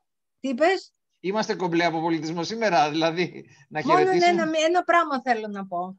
Ε, είπε ο κύριος Μεταξάς ότι δεν είναι προϊόν ε, εμπειρία. Εντάξει, καταλαβαίνουμε είναι- όλοι τι εννοούσε. Μπέτη, μην μπλέξουμε σε αυτό. Γιατί εννοούσα καταλαβαίνουμε και εγώ, τώρα. μήπως καταλαβαίνετε όμως. Όλοι, όλοι καταλάβαμε. Το ίδιο Εντάξει, εννοούμε λίγο άμα πολύ τώρα. Μην, καταλαβαίνετε τι μην εννοούσα χανόμαστε κι στη εγώ. μετάφραση για αυτά τώρα. Με, μεταξύ μας Εντάξει, όλοι εντάξει. καταλαβαίνόμαστε. Οκ. Λοιπόν, ε, την Πραγματικό αγάπη μας προϊόν, εν αποχε, πάση περιπτώσει. αποχαιρετούμε την κυρία Χατζηνικολάου να πούμε η υπόλοιπη Πολύ παρέα ωραία. από μια κουβέντα. Ευχαριστούμε, και κυρία κλείνουμε σιγά σιγά. Χατζηνικολάου. Στο τσακ, στο τσακ νομίζω κερδίσαμε την αγάπη της σήμερα. Ε, Τσακ. Εσείς κύριε Αντωνάκο και ο Αλέξανδρος την έχετε. Εκεί που α, παίζει, Αυτά είναι τα, αυτά είναι τα ωραία. Κάποιος πρέπει να κάνει και το Εγώ- κακό όμως. Πολύ με τιμάει Να αυτό. πω- Πολύ με να- τιμάει. αστείευομαι. Ευχαριστώ Επιτρέψτε πάρα μου. πολύ. Γεια χαρά, γεια χαρά. Ευχαριστούμε, κυρία Χατζηνικολάου. Μιχάλη. Επιτρέψτε μου να, χαιρε- να χαιρετήσω την κυρία Κατζηνικολάου που δεν με θυμάται. Έχουμε γνωριστεί πριν. Τα θυμάμαι 20 πολύ καλά. Με θυμάστε. Με το Πολύ project καλά. του Golf Afan- του Golf Αφάντου, όταν είχαμε φέρει τους Ισραηλινούς επενδυτές σε έναν από τους ατυχείς διαγωνισμούς Το του είπατε Golf και την Αφάντου. άλλη φορά αυτό. Θυμάστε. Αυτό χάνεται στα Οκ, φάτια μια των χαρά. αιώνων. Πιο πολύ σας θυμάμαι από την προηγούμενη συζήτηση. Όχι, όχι, Οκ. μιλάω για, για πολύ παλιά. Έχω και μια ηλικία, ε. και εγώ προφανώς Δεν για το να λέμε, έχουμε- δεν το λέμε. Μπέτη, για γεια να- χαρά. για να Ευχαριστώ έχουμε πολύ. συναντηθεί. Γεια. Γεια. Γεια Γεια σας. Ο, ο Αλέξανδρος θα κλείσει, αλλά πριν κλείσει ο Αλέξανδρος, ας μας πει λίγο την προσέγγιση από όλα αυτά που έχει ακούσει ο Μιχάλης, που τα δουλεύει και λίγο περισσότερο Κοίταξε, και λίγο πιο καθημερινά. Πρώτον, θεωρώ ότι είναι σε σωστές κατευθύνσεις. Απλώς θέλω να πω, όπως είπε και ο κ. Μεταξάς, ότι ε, δυστυχώς η επιστημονικότητα και η μεθοδολογία και η έρευνα έχουν μείνει για πολλά χρόνια μακριά ε, από το πυρήνα της στρατηγικής του τουρισμού, αν θεωρήσουμε ότι υπήρχε στρατηγική, γιατί έτσι είναι και αυτό ένα ερώτημα. Ε, δεύτερον, ότι όλα αυτά τα κομμάτια που έχουν να κάνουν με τον πολιτισμό σίγουρα πρέπει να πάρουν μια νέα διάσταση, γιατί δεν είναι ο πολιτισμός και ο πολιτιστικός τουρισμός κάτι ε, α- το οποίο συζητούσαμε εδώ και δέκα, γιατί δεν είναι κάτι μια καινούργια ε, κουβέντα, είναι κάτι το οποίο συζητιέται εδώ και δεκαετίες. Εδώ όμως τώρα έχει αρχίσει και πλέον το πράγμα και πάει σε ένα επίπεδο διαφορετικό. Πέρα από το sustainability και το inclusiveness, πάμε και στο regeneration, όπου πρέπει πλέον να διασφαλίσεις ότι αυτή η εμπειρία του επισκέπτη ε, συνδέεται και με την ε, καθημερινότητα και τη βελτίωση της ε, καθημερινότητας του, του ντόπιου, ο οποίος ντόπιου. είναι ενταγμένος στο κλάστερ. Δεν Και είσαι, παράλληλα, Disneyland, δεν είσαι ότι- Disneyland δηλαδή, δεν είσαι ένας τόπος Ακριβώς, Disneyland, ναι, ναι, είσαι- ναι, ναι, υπάρχει ναι, μια ναι. όσμωση. Και Εγώ πα- έχω μια και απορία, παράλληλα άλλη και αν μου ότι- επιτρέψεις, έχω μια Ναι, να απορία το πριν κλείσω, να κουραστεί το ο κλείσω. κόσμος. Ε, Θέλω να μου πεις για- μετά τις εμπειρίες σου, εκεί τι κάνουν οι άνθρωποι, έτσι. Μετά μην, μην κλείσεις χωρίς να το πεις αυτό. Εκεί εννοώ στην από Ανατολή, ναι. τι σημαίνει εκεί Ναι, ναι, πολιτιστικές κλείνω. διαδρομές, τι σημαίνουν εκεί πράγματα που είναι πέρα από το παραθεριστικό. Ναι, το αυτό δικό θέλω να μας. πω ότι και ο επι- και ο επισκέπτη, η εμπειρία του, ε, μιλάμε πάντα για τον ποιοτικό επισκέπτη, ε, ολοκληρώνεται όταν νιώσει ότι συνεισφέρει ε, με την παρουσία του σε κάτι το οποίο είναι, ε, έχει values, έχει αξία για τον ίδιο, για τον τόπιο, για το περιβάλλον. Έτσι. Όταν λοιπόν αυτά τα πράγματα καταφέρεις και θα κουμπώσεις, γιατί είναι ιδανικό το να βρίσκεις τρόπους να συνδέεις διαδρομές, στοιχεία όπως περιγράφηκαν πολύ όμορφα προηγουμένως στις διαδρομές, αλλά παράλληλα πρέπει να δούμε ποια είναι η εμπλοκή του τοπικού στοιχείου, ποιο είναι το added value το οποίο δεν θα πάρει μόνο, δεν μιλάω για το οικονομικό value, έτσι προφανώς. Μιλάω για την ε, βελτίωση των, των συνθηκών της καθημερινότητας της τοπικής κοινωνίας, τη βελτίωση την περιβαλλοντική, το να, το να, να, να πάει κάτι σε καλύτερο επίπεδο έτσι, σε, όλου, σε όλους όσους εμπλέκονται. Και φυσικά αυτό να το βιώσει ο επισκέπτης σε κάτι πάρα πολύ θετικό το οποίο θα το πάρει μαζί του και να νιώσει ότι δεν επιβαρύνει. Αντιθέτως, προσθέτει ε, με την παρουσία του. Παίρνει την εμπειρία, αλλά παράλληλα προσθέτει κάτι θετικό στον, ε, με την επίσκεψή του εκεί. Αυτό πλέον έχει αρχίσει και γίνεται. Ή συμμετέχει, ή συμμετέχει στην εμπειρία ο επισκέπτης. Ναι, μα προφανώς για να, για να έχει τέτοια εμπλοκή πρέπει να συμμετάσχει. Έτσι. Ναι, θέλω να πω δηλαδή ότι αντί να επισκεφθεί κάτι, αντί να επισκεφθεί ένα εργαστήριο, να συμμετάσχει στην, στην εργασία για κάποια, κάποιο διάστημα της ώρας, ας πούμε, κάτι τέτοιο. Προφανώς και αυτό που είπε ο κ. Μεταξάς, πέρα από το distinctiveness και το uniqueness, είναι και το authenticity. Δηλαδή, ε, πρέπει να δούμε και να δούμε τις δράσεις αυτές ως κάτι το οποίο είναι υφιστάμενο και όχι το οποίο το δημιουργείς για να δημιουργήσει έλξη και ελκυστικότητα στον προορισμό. Είναι κάτι το οποίο ξεκινάει από την παράδοση, από την ιστορία, όπως είπε και ο Αλεξάνδρος. Είναι πράγματα τα οποία απλώς τα, τα συνθέτεις, τα αναβιώνεις, τα εμπλουτίζεις, κυρίως για τους ντόπιους και μετά φέρνεις τον επισκέπτη να εμπλακεί, ε, να συμμετάσχει και να νιώσει ότι προσφέρει μέσα από αυτή τη διαδικασία και παίρνει και μια εμπειρία και γνώση, γιατί δεν είναι μόνο η εμπειρία. Αρχίζει πλέον το πράγμα, λέω, θέλει να πάει να μάθει πράγματα. Δηλαδή, το να εμπλαγεί και να κάνει μια, ε, να συμμετέχει σε ένα εργαστήριο χειροτεχνίας που δουλεύουν κάποιε γυναίκες εκεί, επειδή δουλεύανε χρόνια, όχι επειδή στήθηκε αυτό για αυτόν τον λόγο. Ε, ο άνθρωπος θα νιώσει την αυθεντικότητα αυτή και θα, θα πάρει μια εμπειρία και θα μάθει, θα μάθει πέντε πράγματα και θα πάρει μαζί του. Θα πει: Εγώ έκανα αυτό. Ε, έφτιαξα αυτό το χειροτέχνημα και το πήρα μαζί μου. Ε, Ποιος μου λέγε προχθές ότι ναι, τους πάνε και κάνουν τυρί από τη στιγμή που αρμέγουν μέχρι που κάνουν το τυρί και παίρνουν το τυρί μαζί τους. Μιλάω για εμπειρίες οι οποίες είναι αυθεντικές και στείνονται. Ε, δεν είναι πράγματα τα οποία είναι δύσκολα. Απλώς πρέπει να γίνουν με τον κατάλληλο τρόπο και αυτή τη στιγμή νομίζω ότι είναι πλέον απαραίτητο γιατί τα πράγματα οδηγούν εκεί. Και όπως είπαμε όλοι μας, ότι ο COVID έδωσε μια ευκαιρία. Όχι γιατί ε, κακώς παρανοήθηκε ότι μπορεί ο COVID να μας ανάγκασε να χρησιμοποιήσουμε χημικά, ουσιαστικά τι κάνουν. Ανεβάζουν το επίπεδο της υγιεινής και της ασφάλειας. Προφανώς υπάρχουν και υλικά ε, φιλικά προς το περιβάλλον, τα οποία τα χρησιμοποιούμε. Και όπως υπόθηκε και επαναλαμβάνω και το τονίζω, πλέον ότι η υγιεινή και η ασφάλεια έγινε ποιοτικό χαρακτηριστικό ε, του, στο, για τον τουρίστα. Και προαπαιτούμενο προφανώς έτσι. Α, Αλέξανδρε, θες να σχολιάσεις πριν, πριν πεταχτώ εγώ ε, και... Πολύ γρήγορα να πω. Πολύ γρήγορα να πω. Συμφωνώ απόλυτα με τον Μιχάλη έτσι κι αλλιώς. Το ξέρει. Συμφωνεί και ο κύριος Μεταξάς που μας έστειλε ένα μήνυμα που ήθελε να έχει άλλη μια εκπομπή να, να πει αυτά που λέει και ο Μιχάλης τώρα, αλλά το κανονίσει. Είμαι σίγουρος. Ε, είμαι σίγουρος και δεν είναι. Είμαι σίγουρος ότι θα το κάνει. Πολιτισμός δεν είναι το kids folklore, ας πούμε. Είδα κάπου ένα διαφημιστικό βιντεάκι που βγήκε τώρα πάλι με ντυμένους με τοπικές στολές να χορεύουν στο λιμάνι. Δεν το αντέχω άλλο αυτό. Είναι. Τέλος πάντων υπάρχει και ένα δεύτερο ζήτημα σε αυτό το περιβόητο νέο μοντέλο κτλ. Γιατί ο κορονοϊός μας έδωσε μια ευκαιρία. Όχι μόνο για να αλλάξουμε το μοντέλο, μας έδωσε και λίγο χρόνο. Ακριβώς. Τον είχαμε χάσει και τον χάνουμε. Εξακολουθούμε και τον χάνουμε. Αυτό το μοντέλο που θέλουμε να αλλάξουμε έχει ήδη αλλάξει αλλού, αλλάζει. Εμείς είμαστε ακόμα να σκεφτούμε αν θα πρέπει. Ε, έρχεται από πίσω μας το κύριο ζήτημα που θα μας απασχολήσει, η κλιματική αλλαγή. Ε, το κομμάτι της εμπειρίας, το κομμάτι της εμπειρίας και της συμμετοχής μετράει και αυτό πάρα πολύ. Δηλαδή, το πλαστικό ποτήρι, για παράδειγμα, μετράει πάρα πολύ για τον επισκέπτη πια. Ε, στην Σκανδιναβία έχει ξεκινήσει αυτό που το λένε ε, flight shaming. Ε, αρχίζουν ναι. στα, και αλλού. στα κοινωνικής δικτύωσης και αλλού, Αλέξανδρο. Και τον κοροϊδεύουν. Πέταξες με αεροπλάνο; Ναι, προφανώς.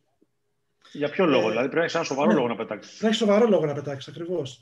Ε, αυτό που λένε είναι ότι τα καύσιμα που καταναλώνει ένα αυτοκίνητο για ένα ολόκληρο χρόνο, για 365 μέρες, είναι τα καύσιμα μιας πτήσης μέσης διαδρομής, ας πούμε.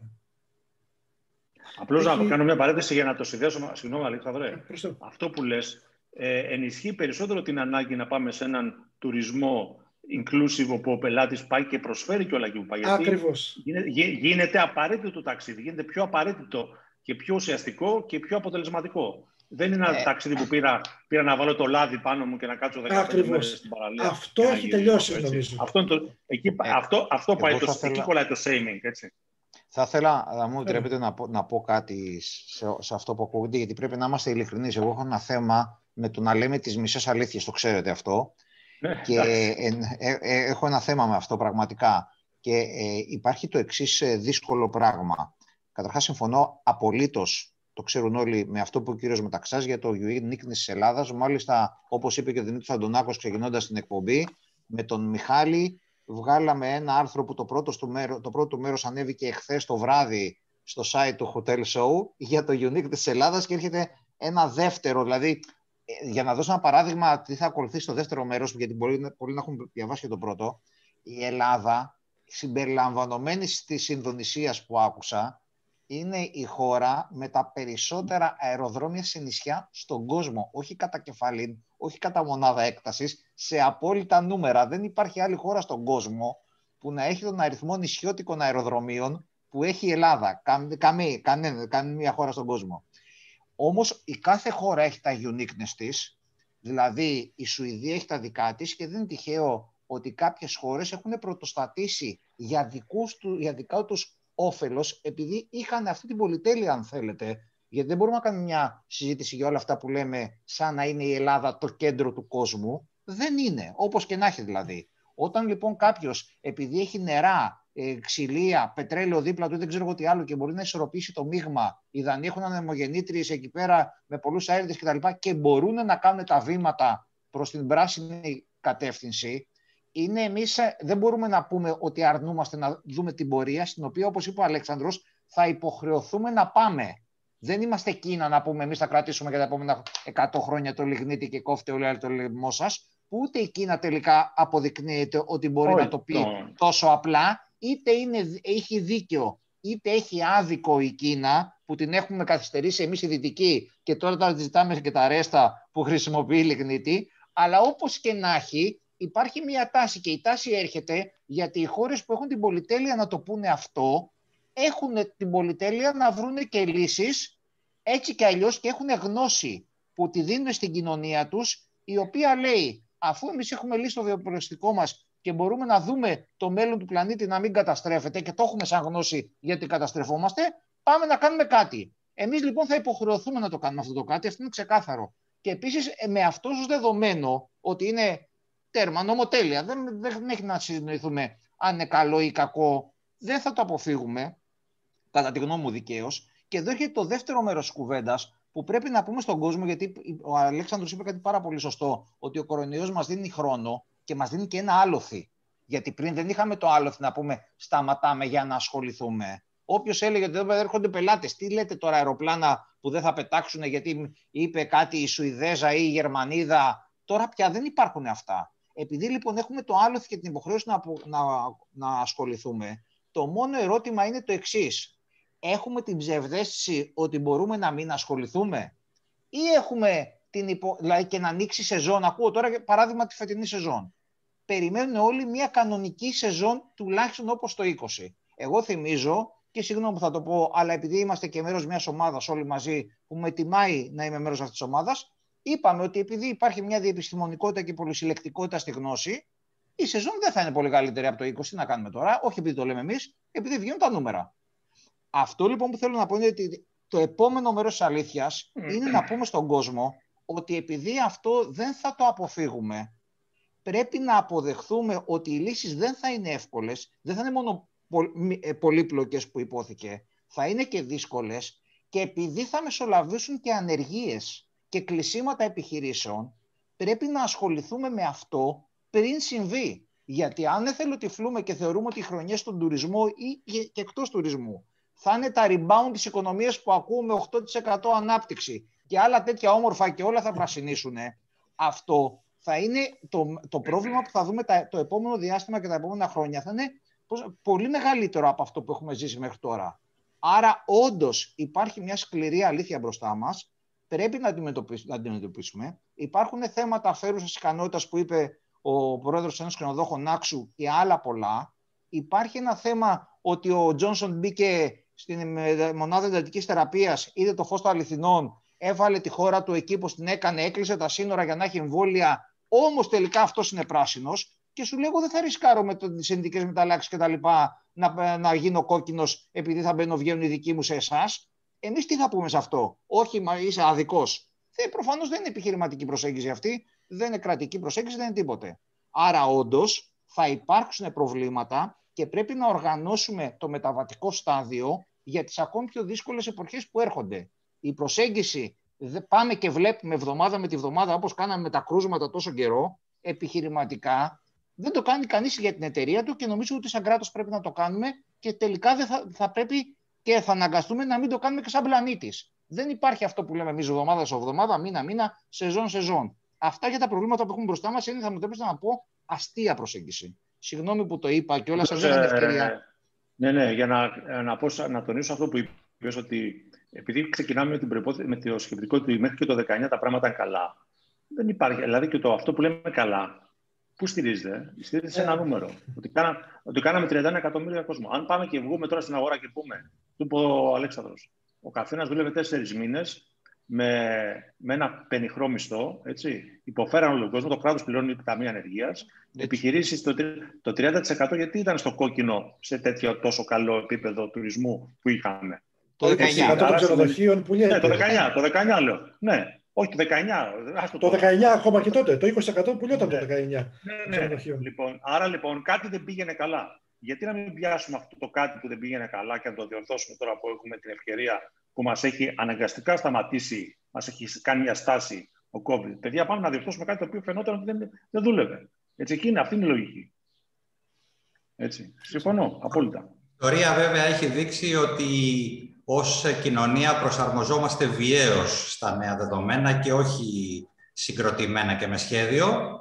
Ε, προσωπικά είμαι πολύ χαρούμενος που, γι' αυτό είπα και στην εισαγωγή ότι ε, η εκπομπή έβαλε σαν στόχο της τον ρεαλισμό. Είμαστε, είμαι χαρούμενος που είμαστε ένα από τα βήματα που βάζουμε αυτούς τους προβληματισμούς στο τραπέζι.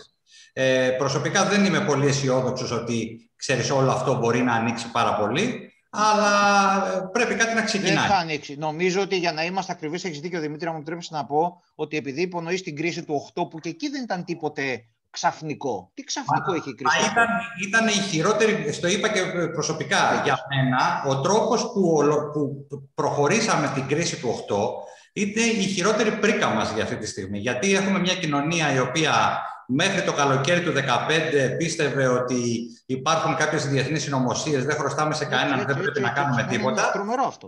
Με, με άξονα τον τουρισμό, βγήκαμε σιγά σιγά από μια στροπό χωρίς αυρόχης ποσή, αν το πάρουμε λίγο σε επιχειρηματικό επίπεδο. Έτσι. Για το μέγεθος του προβλήματος που είχαμε, εννοείται. εννοείται ναι, Οπότε, όπως λέει ο Δημήτρης ο Βασιλείου, πολύ φίλος του ο κορονοϊός, ναι, ναι, έχουμε τις ελπίδες μας να μάθουμε... Θα πεθάνουμε φτωχοί, αλλά τουλάχιστον θα βάλουμε μυαλό, θέλουμε δεν θέλουμε. Αυτή είναι η πραγματικότητα, το λέω πάρα πολύ κοινικά και δεν ξέρω εμένα. Θα πεθάνουμε φτωχοί με τον κορονοϊό, αλλά θα βάλουμε μυαλό. Δεν μπορεί να γίνει ο πλανήτης, το σύμπαν, ποιος πλανήτη, το σύμπαν, εμείς θέλουμε να γυρίζει όλος ο γαλαξής γύρω από εμάς. Ε, συγγνώμη, δηλαδή, χίλια συγγνώμη, αλλά δεν γίνεται αυτό. Χίλια συγγνώμη. Ωραία. Με αυτή την αισιόδοξη νότα, λοιπόν, μπορούμε να κλείσουμε την εκπομπή. λοιπόν, σας ευχαριστώ πολύ, όπως ευχαριστούμε. Να είστε καλά. Γεια χαρά, παιδιά. Ευχαριστώ. Γεια χαρά.